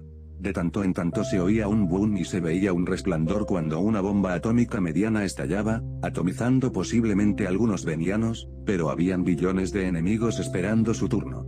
A lo lejos chasquearon las armas cortas y restallaron las granadas. Luego vieron como por sobre los árboles se aproximaba una rebosante e insegura figura. Era un infante pesado con su escafandra acorazada y casco hermético, con bombas atómicas y granadas sujetas por todas partes, un verdadero polvorín andante, o mejor dicho saltante, ya que con toda la chatarra que llevaba encima no habría podido caminar ni por una carretera asfaltada, por lo que se movía a saltos, usando dos cohetes atornillados a sus caderas. Sus saltos se hacían más y más bajos a medida que se acercaba. Cayó a unos 50 metros o así de distancia y se hundió lentamente hasta la cintura en el pantano, mientras sus cohetes siseaban al tocar el agua. Luego saltó de nuevo, mucho menos esta vez, con sus cohetes disparando en falso y apagándose, y lanzó el casco por el aire. Ey, chicos dijo. Los malditos chingers me dieron en el tanque de combustible. Casi se me han apagado los cohetes, no puedo saltar mucho más. ¿Verdad que le echaréis una mano a un compañero? Golpeó el agua con un gran salpicón. Sal de ese traje de lata y te sacaremos, le gritó el cabo de la guardia. Estás mochales, gritó el soldado. Lleva una hora el meterse o salir de esta cosa. Disparó sus cohetes, pero estos tan solo hicieron puff y se levantó un palmo en el agua, para caer de nuevo. Se acabó el combustible. Ayudadme, bastardos. Es que estamos en la semana de joder al compañero aulló, y luego se hundió, hasta que su cabeza estuvo bajo el agua y se vieron unas pocas burbujas y luego nada más. Siempre estamos en la semana de joder al compañero dijo el cabo. Poned en marcha la columna ordenó, y se arrastraron hacia adelante. Esos trajes pesan una tonelada y media, se hunden como el plomo. Si este era un día tranquilo, Bill no deseaba ver uno ajetreado. Como todo el planeta Beniola era un pantano, no se podían realizar avances hasta que no se construía una ruta. Los soldados en solitario podían penetrar algo más allá del camino, pero para los suministros o el equipo y hasta para los hombres muy armados se necesitaba un camino. Por tanto, los forzados estaban construyendo un camino de árboles abatidos. En primera línea. Los disparos de los atomorifles hacían hervir el agua a su alrededor, y los dardos venenosos caían tan densamente como las hojas de los árboles. Los ataques y contraataques de los dos lados eran constantes mientras los prisioneros cortaban árboles, los descortezaban y los ataban, para hacer avanzar la ruta unos centímetros más. Bill descortezó y taló y trató de ignorar los alaridos de los cuerpos que caían, hasta que comenzó a hacerse de noche.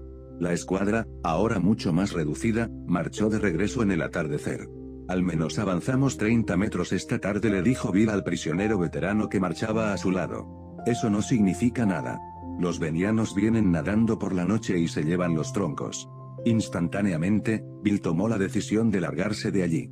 ¿Tienes algo más de ese zumo de la alegría? le preguntó el sargento Ferkel cuando Bill se desplomó en su litera y comenzó a desprenderse parte del barro de las botas con la hoja de su cuchillo. Antes de responderle, le dio un rápido tajo a una planta que salía por entre las planchas del suelo.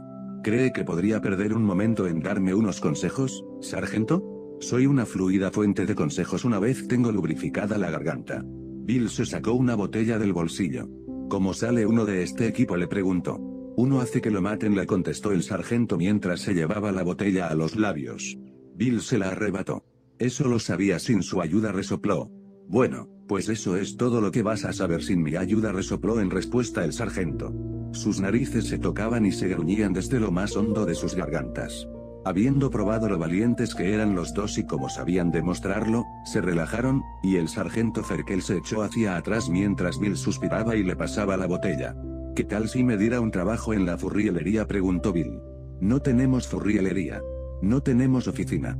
Todo el mundo muere más pronto o más tarde aquí, así que, ¿para qué preocuparse en llevar archivos? ¿Y si le hieren a uno? Lo envían al hospital, lo ponen bueno, lo devuelven aquí. Solo queda el amotinarse chilló Bill. No nos valió las últimas cuatro veces que lo intentamos. Simplemente se llevaron las naves de suministro y no nos dieron víveres hasta que aceptamos volver a combatir. La química de este lugar está mal, y toda la comida del planeta es puro veneno para nuestros metabolismos. Un par de chicos lo comprobaron por las malas. Cualquier motín que quiera tener posibilidades de éxito ha de conseguir capturar las bastantes naves como para escapar del planeta. Si tienes alguna idea de cómo hacerlo, te pondré en contacto con el Comité Permanente de Motines. ¿No hay forma alguna en que salir de aquí? Yate un maestro un, le dijo Ferkel, y se desplomó borracho como una cuba. Ya lo veré por mí mismo dijo Bill, mientras le sacaba la pistola de su funda al sargento y luego se deslizaba por la puerta trasera. Reflectores blindados iluminaban las posiciones avanzadas, enfrentadas al enemigo, y Bill se dirigió en el sentido opuesto, hacia el distante resplandor de los cohetes aterrizando. El terreno pantanoso estaba moteado por barracones y almacenes, pero Bill se mantuvo alejado de ellos porque estaban todos guardados, y los guardianes tenían el disparo fácil. Disparaban contra todo lo que veían, contra todo lo que oían, y si no veían o oían nada disparaban de vez en cuando, de todas formas, para mantenerse alta la moral. Las luces brillaban fuertes al frente, y Bill reptó sobre su estómago para atisbar por encima de una mata a una alta verja iluminada por reflectores y protegida por alambres de espino que se extendía en ambas direcciones hasta perderse de vista. Un disparo de un atomorifle quemó un boquete en el barro a un metro tras él, y un reflector giró, enmarcándolo en su destello. Saludos de su oficial de mando atronó una voz amplificada desde los altavoces de la verja. Esta es una grabación. Está usted tratando de salir de la zona de combate para entrar en la zona restringida al mando. Esto está prohibido. Su presencia ha sido detectada por maquinaria automática y estos mismos dispositivos tienen ahora apuntado un cierto número de armas contra usted. Dispararán en 60 segundos si no se marcha. Sea patriota. Cumpla con su deber. Muerte a los chingers. 55 segundos. Le gustaría que su madre supiese que su hijo es un cobarde. 50 segundos. Su emperador ha gastado un capital en su entrenamiento, ¿es esa la forma de pagárselo? 45 segundos. Bill maldijo y disparó contra el altavoz más próximo, pero los restantes a lo largo de la valla continuaron sonando con la voz. Se dio la vuelta y volvió por donde había venido. Cuando se acercaba a su choza, evitando la parte delantera para no arriesgarse al fuego de los nerviosos guardianes del complejo, se apagaron todas las luces. Al mismo tiempo sonaron disparos y explosiones por todas partes. Capítulo 4. Algo se deslizó cerca por el barro, y el dedo de Bill se contrajo espontáneamente sobre el gatillo, disparando. Al breve resplandor atómico vio los humeantes restos de un veniano muerto, así como un gran número de venianos vivos chapoteando al ataque. Bill se zambulló a un lado al momento, de forma que los disparos que le hicieron en contestación no le alcanzaron, y huyó en la dirección opuesta. Tan solo pensaba en salvar el pellejo, y lo hizo escapando de los disparos y de los enemigos que le atacaban tan lejos como pudo. El que lo hiciera en la dirección en que no había sendero, metiéndose en el pantano, fue algo que no se detuvo a considerar en aquel momento. Sobrevive, le gritaba su arrugado y empequeñecido ego, y él corría. El correr se hizo más difícil cuando el suelo se transformó en barro, y aún más cuando el barro dejó paso al agua abierta. Tras chapotear desesperadamente por un tiempo interminable, Bill llegó a más barro. Ya le había pasado el primer momento de histeria, el combate era tan solo un lejano murmullo en la distancia, y estaba exhausto. Se dejó caer sobre una masa de barro, e instantáneamente unos agudos dientes se le clavaron profundamente en las nalgas. Chillando roncamente, corrió hasta chocar con un árbol. No iba lo bastante a prisa como para hacerse mucho daño, y el tacto de la rugosa corteza bajo sus dedos despertó todos sus instintos eoantrópicos de supervivencia, se subió a él. En lo alto había dos ramas que salían en ángulo del tronco, y se apoyó en ellas, apretado contra la sólida madera y con su arma preparada y apuntada hacia adelante. Nada le molestaba ahora, y los sonidos nocturnos se hicieron más débiles y lejanos, la oscuridad era completa, y al cabo de unos segundos comenzó a cabecear. Se sobresaltó algunas veces, parpadeó, y finalmente se quedó dormido. Ya brillaban las primeras grisáceas luces del alba cuando abrió sus pesados ojos y parpadeó. En una rama cercana estaba colgado un pequeño lagarto que lo contemplaba con sus ojos como joyas. G, G, de verdad que estabas como un tronco le dijo el chinger. El disparo de Bill abrió una cicatriz humeante en la parte superior de la rama, y luego el chinger apareció de nuevo por debajo de la rama y se limpió meticulosamente la ceniza de sus garras. Ojo con ese gatillo, Bill dijo. G, G, si hubiera querido te podría haber liquidado en cualquier momento mientras estabas dormido. Te conozco dijo oscamente Bill. ¿Eres ansioso Bigger? No. G, G. ¿No te gusta encontrarte con viejos amigos? Un cien pies pasaba a su lado y ansioso Bigger, el chinger, lo agarró con tres de sus brazos y comenzó a arrancarle patas con el cuarto y a comérselas. Te reconocí, Bill, y quise hablar contigo. Me he sentido mal desde que te llamé soplón, no hice bien.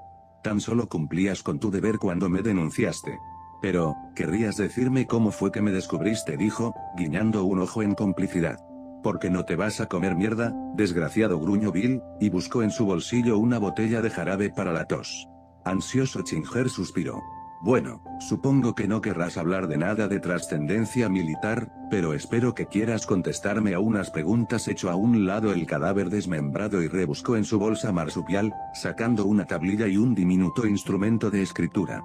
Tienes que darte cuenta de que no escogí voluntariamente el espionaje como profesión, sino que me obligaron a hacerlo en virtud de mi especialidad, la exopología. ¿Has oído hablar de esta ciencia? Una vez nos dieron una charla de orientación, la hizo un exopólogo, y de lo único que sabía hablar era de tipos y bichos extraterrestres. Sí, más o menos es eso.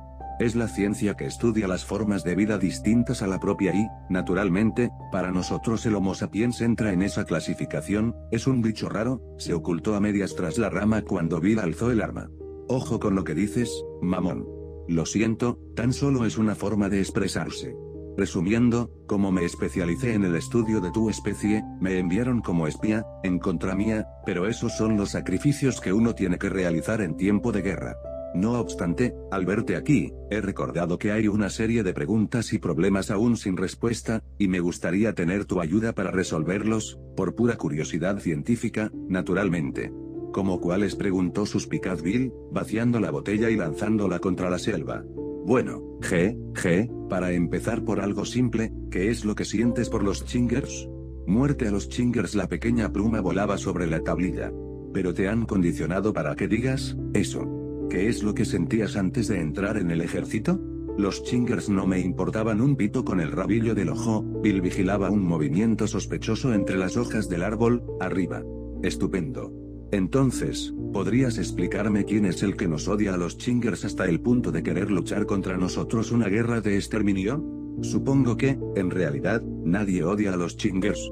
Es simplemente que no hay nadie más con quien hacer la guerra, así que tenemos que hacerla con vosotros. Las inquietas hojas se habían separado y unos ojos alargados, colocados en una gran cabeza plana, miraban hacia abajo. Lo sabía. Y esto me lleva a la pregunta verdaderamente importante, ¿por qué os gusta a los Homo sapiens hacer la guerra? La mano de Bill se apretó sobre la culata de la pistola, mientras la monstruosa cabeza descendía silenciosamente por entre las hojas tras ansioso Chinger Bigger. Estaba unida a un cuerpo serpentino de un palmo de grosor y, aparentemente, interminable. Hacer la guerra.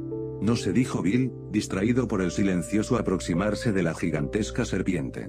Supongo que es porque nos gusta. No parece haber otra razón. ¿Os gusta? rechinó el chinger, saltando arriba y abajo excitado. A ninguna raza civilizada le pueden gustar las guerras, la muerte, el asesinato, la mutilación, las violencias, la tortura y el dolor, para nombrar tan solo algunos de los factores concomitantes a la misma. Vuestra raza no puede ser civilizada. La serpiente atacó con la velocidad del rayo, y ansioso Chingerbigger se desvaneció por su espinosa garganta con tan solo un apagado gemido. Ajá, supongo que no estamos civilizados, dijo Bill con la pistola dispuesta, pero la serpiente siguió descendiendo. Al menos pasaron rectando 50 metros de la misma antes de que apareciese y desapareciese la cola. El maldito espía se lo tenía bien merecido gruño feliz, y comenzó a descender. Una vez en el suelo, Bill comenzó a darse cuenta del mal lío en que se hallaba. El húmedo pantano se había tragado todas las huellas de su paso de la noche anterior, y no tenía ni la menor idea de en qué dirección se hallaba la zona de los combates. El sol tan solo era una difusa luz tras las capas de nubes y niebla, y notó un escalofrío repentino al darse cuenta de las escasas posibilidades que tenía de hallar su camino de regreso. El área de invasión, de tan solo 10 kilómetros de lado, era un punto microscópico en la piel de este planeta, y no obstante, si no la encontraba, ya podía darse por muerto.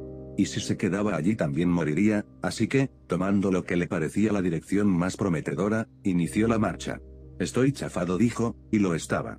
Unas pocas horas de arrastrarse por los pantanos no habían hecho más que debilitar sus músculos, llenarle la piel de picaduras de insectos, sacarle un litro de sangre gracias a las omnipresentes sanguijuelas y vaciar la carga de su pistola al matar a una docena o así de las formas de vida locales que lo querían como desayuno.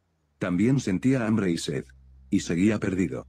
El resto del día siguió la pauta de la mañana, así que cuando el cielo comenzó a oscurecer estaba al borde del agotamiento y había terminado su suministro de medicina para la tos. Cuando subió a un árbol para encontrar un punto en el que descansar, estaba aún más hambriento, por lo que cogió un excelente fruto rojo. Se supone que es veneno, lo miró con suspicacia, y luego lo husmeó. Olía excelentemente. Lo tiró lejos. Por la mañana todavía tenía más hambre. ¿Debería meterme el cañón de la pistola en la boca y disparar? se preguntó, sopesando la pistola atómica en la mano. Aún queda mucho tiempo para hacer eso, aún pueden pasar muchas cosas y, sin embargo, no pudo acabar de creérselo cuando oí o voces que venían por la jungla, voces humanas. Se ocultó tras la rama y apuntó en aquella dirección. Las voces se acercaron, y también un sonido de cadenas. Un veniano armado pasó bajo el árbol, pero Bill retuvo el fuego cuando otras figuras surgieron de entre la niebla. Era una larga hilera de prisioneros humanos que llevaban al cuello las argollas usadas para traer a Bill y a los otros al campo de trabajos forzados, unidas por una larga cadena. Cada uno de los hombres llevaba una enorme caja sobre la cabeza. Bill los dejó pasar por debajo y contó cuidadosamente los guardianes venianos. Eran cinco más un sexto vigilando la retaguardia, y cuando éste estuvo bajo el árbol Bill se dejó caer sobre él, abriéndole el cráneo con sus pesadas botas. El veniano estaba armado con una copia, hecha por los chingers, del atomorifle estándar, y Bill sonrió malévolamente cuando sostuvo su familiar peso. Tras guardarse la pistola en el cinto, se deslizó tras la columna, con el rifle a punto. Logró matar al quinto guardián poniéndose tras él y reventándole la cabeza con la culata del rifle.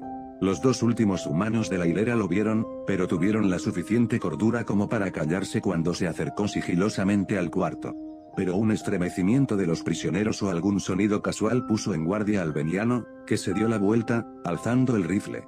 Ya no había posibilidad de matarlo en silencio, así que Bill le asó la cabeza y corrió tan deprisa como pudo hacia adelante.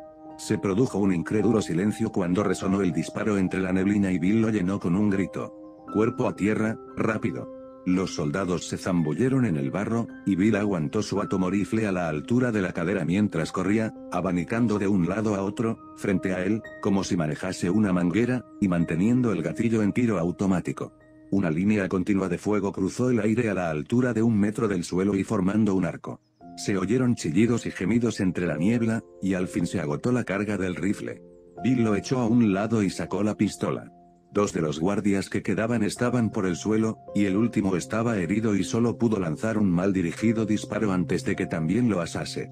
No está mal dijo, deteniéndose y jadeando. Seis de un total de seis. De la línea de prisioneros le llegaban débiles gemidos, y Bill ahuecó disgustado los labios cuando vio los tres hombres que no se habían tirado al suelo al oír su grito de aviso. ¿Qué pasa? le dijo a uno, moviéndolo con la bota. Nunca habías entrado en combate pero no le contestó porque estaba tostadamente muerto. Nunca, le contestó el de al lado, boqueando de dolor. Llame al enfermero. Estoy herido, hay uno al principio de la hilera. Oh, oh, ¿por qué salí nunca de la fanil?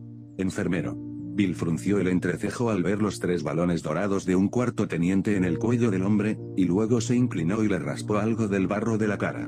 ¡Puh! El oficial de lavandería gritó con ultrajada ira, alzando la pistola para completar el trabajo.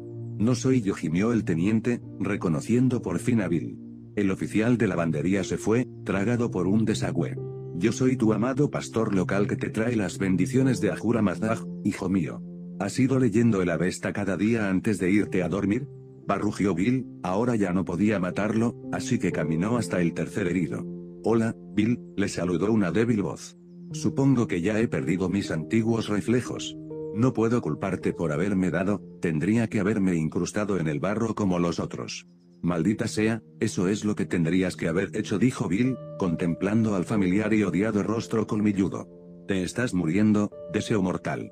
Esta vez te ha tocado. Lo se dijo deseo mortal, y tosió. Tenía cerrados los ojos. Haced un círculo con la cadena, gritó Bill. Quiero aquí al enfermero. La hilera de prisioneros se curvó y miraron cómo el enfermero examinaba a los heridos. El teniente solo necesita una venda, dijo. Tan solo tiene quemaduras superficiales. Pero a este tío de los colmillos le ha llegado la hora. ¿Puedes conservarlo con vida? le preguntó Bill. Por un tiempo, aunque no puedo asegurar cuánto. Manténlo en vida miró alrededor del círculo de prisioneros.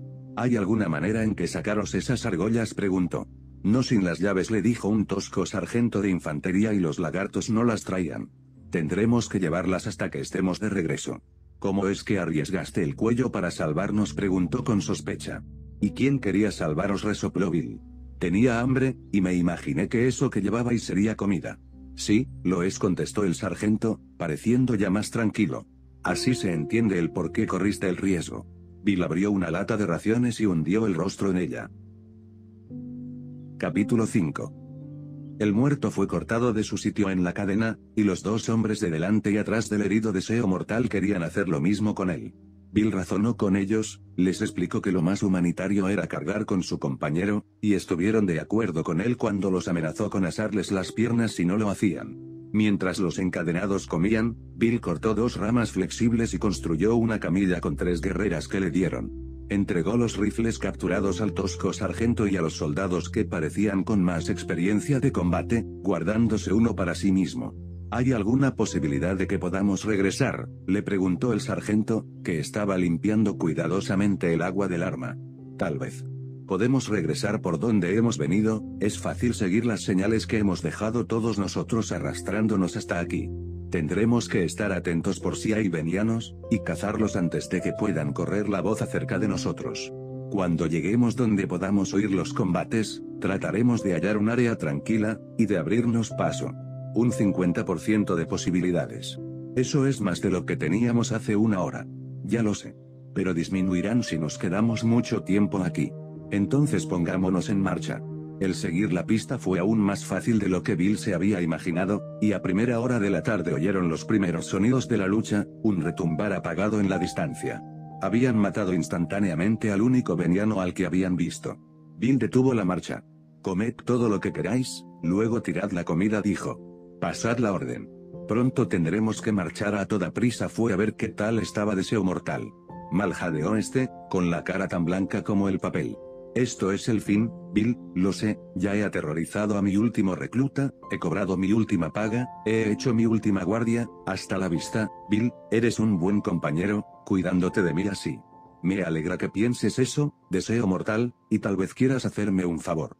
Rebuscó por los bolsillos del moribundo hasta que encontró su libro de notas de suboficial, abriéndolo y garabateando en una de las páginas en blanco. ¿Qué tal si me firmaras esto, en recuerdo de los viejos tiempos? ¿Deseo mortal? La gran mandíbula colgaba abierta, los malévolos ojos rojos estaban desorbitados y perdidos en el infinito. El sucio mamón se me ha muerto antes, dijo disgustado Bill. Tras meditar por un momento, mojó con tinta de la pluma la yema del pulgar de deseo mortal y la apretó contra el papel para dejar la huella. Enfermero gritó, y la hilera de hombres se arqueó para que el enfermero pudiera llegar. ¿Cómo está? Tieso como un arenque dijo el enfermero, tras un examen profesional. Antes de morir me dejó en herencia sus colmillos, lo tengo aquí escrito, ¿ves? Son colmillos verdaderos, hechos crecer en una probeta, y cuestan un fortunón. ¿Pueden ser trasplantados? Seguro, siempre que se los arranquen y los congelen antes de que pasen 12 horas. No hay problema con eso, simplemente nos llevaremos el cadáver con nosotros. Miró a los dos camilleros y jugueteó con su arma, y no hubo protestas. Mándeme aquí a ese teniente. El teniente vino. Capellán dijo Bill, alzando la página del libro de notas. Me gustaría tener la firma de un oficial en esto. Justo antes de morir este hombre me dictó su testamento, pero estaba demasiado débil para firmarlo, así que le puso la huella dactilar. Ahora usted escriba que lo vio hacerlo y que todo está bien y es legal, y firme con su nombre. Pero, ¿no podría hacer eso, hijo mío? No vi cómo el fallecido dictaba su testamento y Glum dijo Glum porque Bill le había metido el cañón de la pistola atómica en la boca y lo estaba haciendo girar con el dedo vibrando sobre el gatillo. Dispara dijo el sargento de infantería, y tres de los hombres, que podían ver lo que estaba pasando, aplaudieron. Bill retiró lentamente la pistola. Tendré gran placer en ayudar dijo el capellán, arrebatándole la pluma. Bill leyó el documento, gruñó satisfecho, y luego se acuclilló junto al enfermero. ¿Estás en el hospital? le preguntó. En efecto, y si logro regresar no voy a salir de él nunca más. Tuve la mala suerte de estar recogiendo heridos cuando se produjo el ataque. He oído que no se llevan a ningún herido. Que solo los ponen en condiciones y los devuelven a la línea de fuego. ¿Oíste bien? Esta va a ser una guerra difícil de sobrevivir. Pero debe de haber algunos heridos demasiado graves como para volverlos al servicio activo.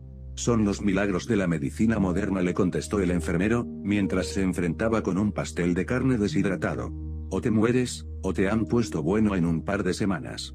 ¿Y si a uno le vuelan un brazo? Tienen un congelador lleno de brazos viejos. Te cosen uno y van, de vuelta al servicio. ¿Y qué tal con los pies? le preguntó Bill preocupado. Tienes razón, me olvidé. Hay escasez de pies. Tenemos a tantos tíos sin pies que se nos están acabando las camas. Habían comenzado justamente a sacarlos del planeta cuando me capturaron. ¿Tienes algunas píldoras contra el dolor? le preguntó Bill, cambiando de conversación. El enfermero sacó una botella blanca. Tres de estas y te reirías mientras te estuviesen cortando la cabeza. Dame tres. Si por casualidad ves a un tipo que le hayan volado un pie, lo mejor será que le ates algo alrededor de la pierna, por sobre la rodilla, para cortar la hemorragia. Gracias, compañero. De nada. Pongámonos en marcha, dijo el sargento de infantería. Cuanto antes lo hagamos, más posibilidades tendremos. Ocasionales relámpagos de los atomorifles quemaban el follaje por encima de ellos, y el estampido seco de las armas pesadas hacía agitarse el barro bajo sus pies. Caminaron paralelamente a la línea de fuego hasta que este hubo cesado, luego se detuvieron. Bill, que era el único no encadenado, se adelantó en reconocimiento. Las líneas enemigas parecían poco densas, y encontró un lugar que parecía ser el mejor para atravesarlas. Luego, antes de regresar, se sacó una fuerte cuerda que había tomado de los paquetes y se hizo un torniquete sobre la rodilla derecha, apretándolo con un palo, tragándose luego las tres píldoras. Se quedó tras unos espesos matorrales cuando llamó a los otros. Todo recto, y luego a la derecha por entre esos árboles. Vamos. Rápido. Bill abrió la marcha hasta que los primeros hombres pudieron ver las líneas al frente. Luego gritó. ¿Qué es esto? Y se introdujo entre el espeso follaje. Chingers gritó, y se sentó con la espalda recostada en un árbol. Tomó buena puntería con la pistola y se voló el pie derecho. Moveos, rápido aulló, y escuchó el estrépito de los asustados hombres entre la maleza. Lanzó lejos su pistola, disparó al azar hacia los árboles unas cuantas veces, luego se irguió. El atomorifle le servía bastante como muleta para cojear, y no tenía mucho camino que recorrer. Dos soldados, que debían ser bisoños o habrían sabido mejor lo que se hacían, salieron de sus refugios para ayudarle. Gracias, compañeros jadeo, y se desplomó al suelo. La guerra es un puro infierno. Epílogo. La música marcial creaba ecos en la ladera de la colina, rebotando en las aristas rocosas y perdiéndose en las silenciosas sombras verdes bajo los árboles. Girando la curva, marcando orgullosamente el paso entre el polvo, llegó el pequeño desfile a cuya cabeza se encontraba la magnífica forma del robot banda. El sol se reflejaba en sus doradas extremidades y parpadeaba en los metálicos instrumentos que tocaba con tanto entusiasmo. Una pequeña formación de robots surtidos rodaba y traqueteaba tras él, y cerrando la columna iba la solitaria figura del canoso sargento reclutador, marchando solitario, con las hileras de sus medallas tintineando. Aunque el camino era liso, el sargento trastabilló de pronto, casi cayendo, y se puso a blasfemar con toda la experiencia de los largos años de oficio.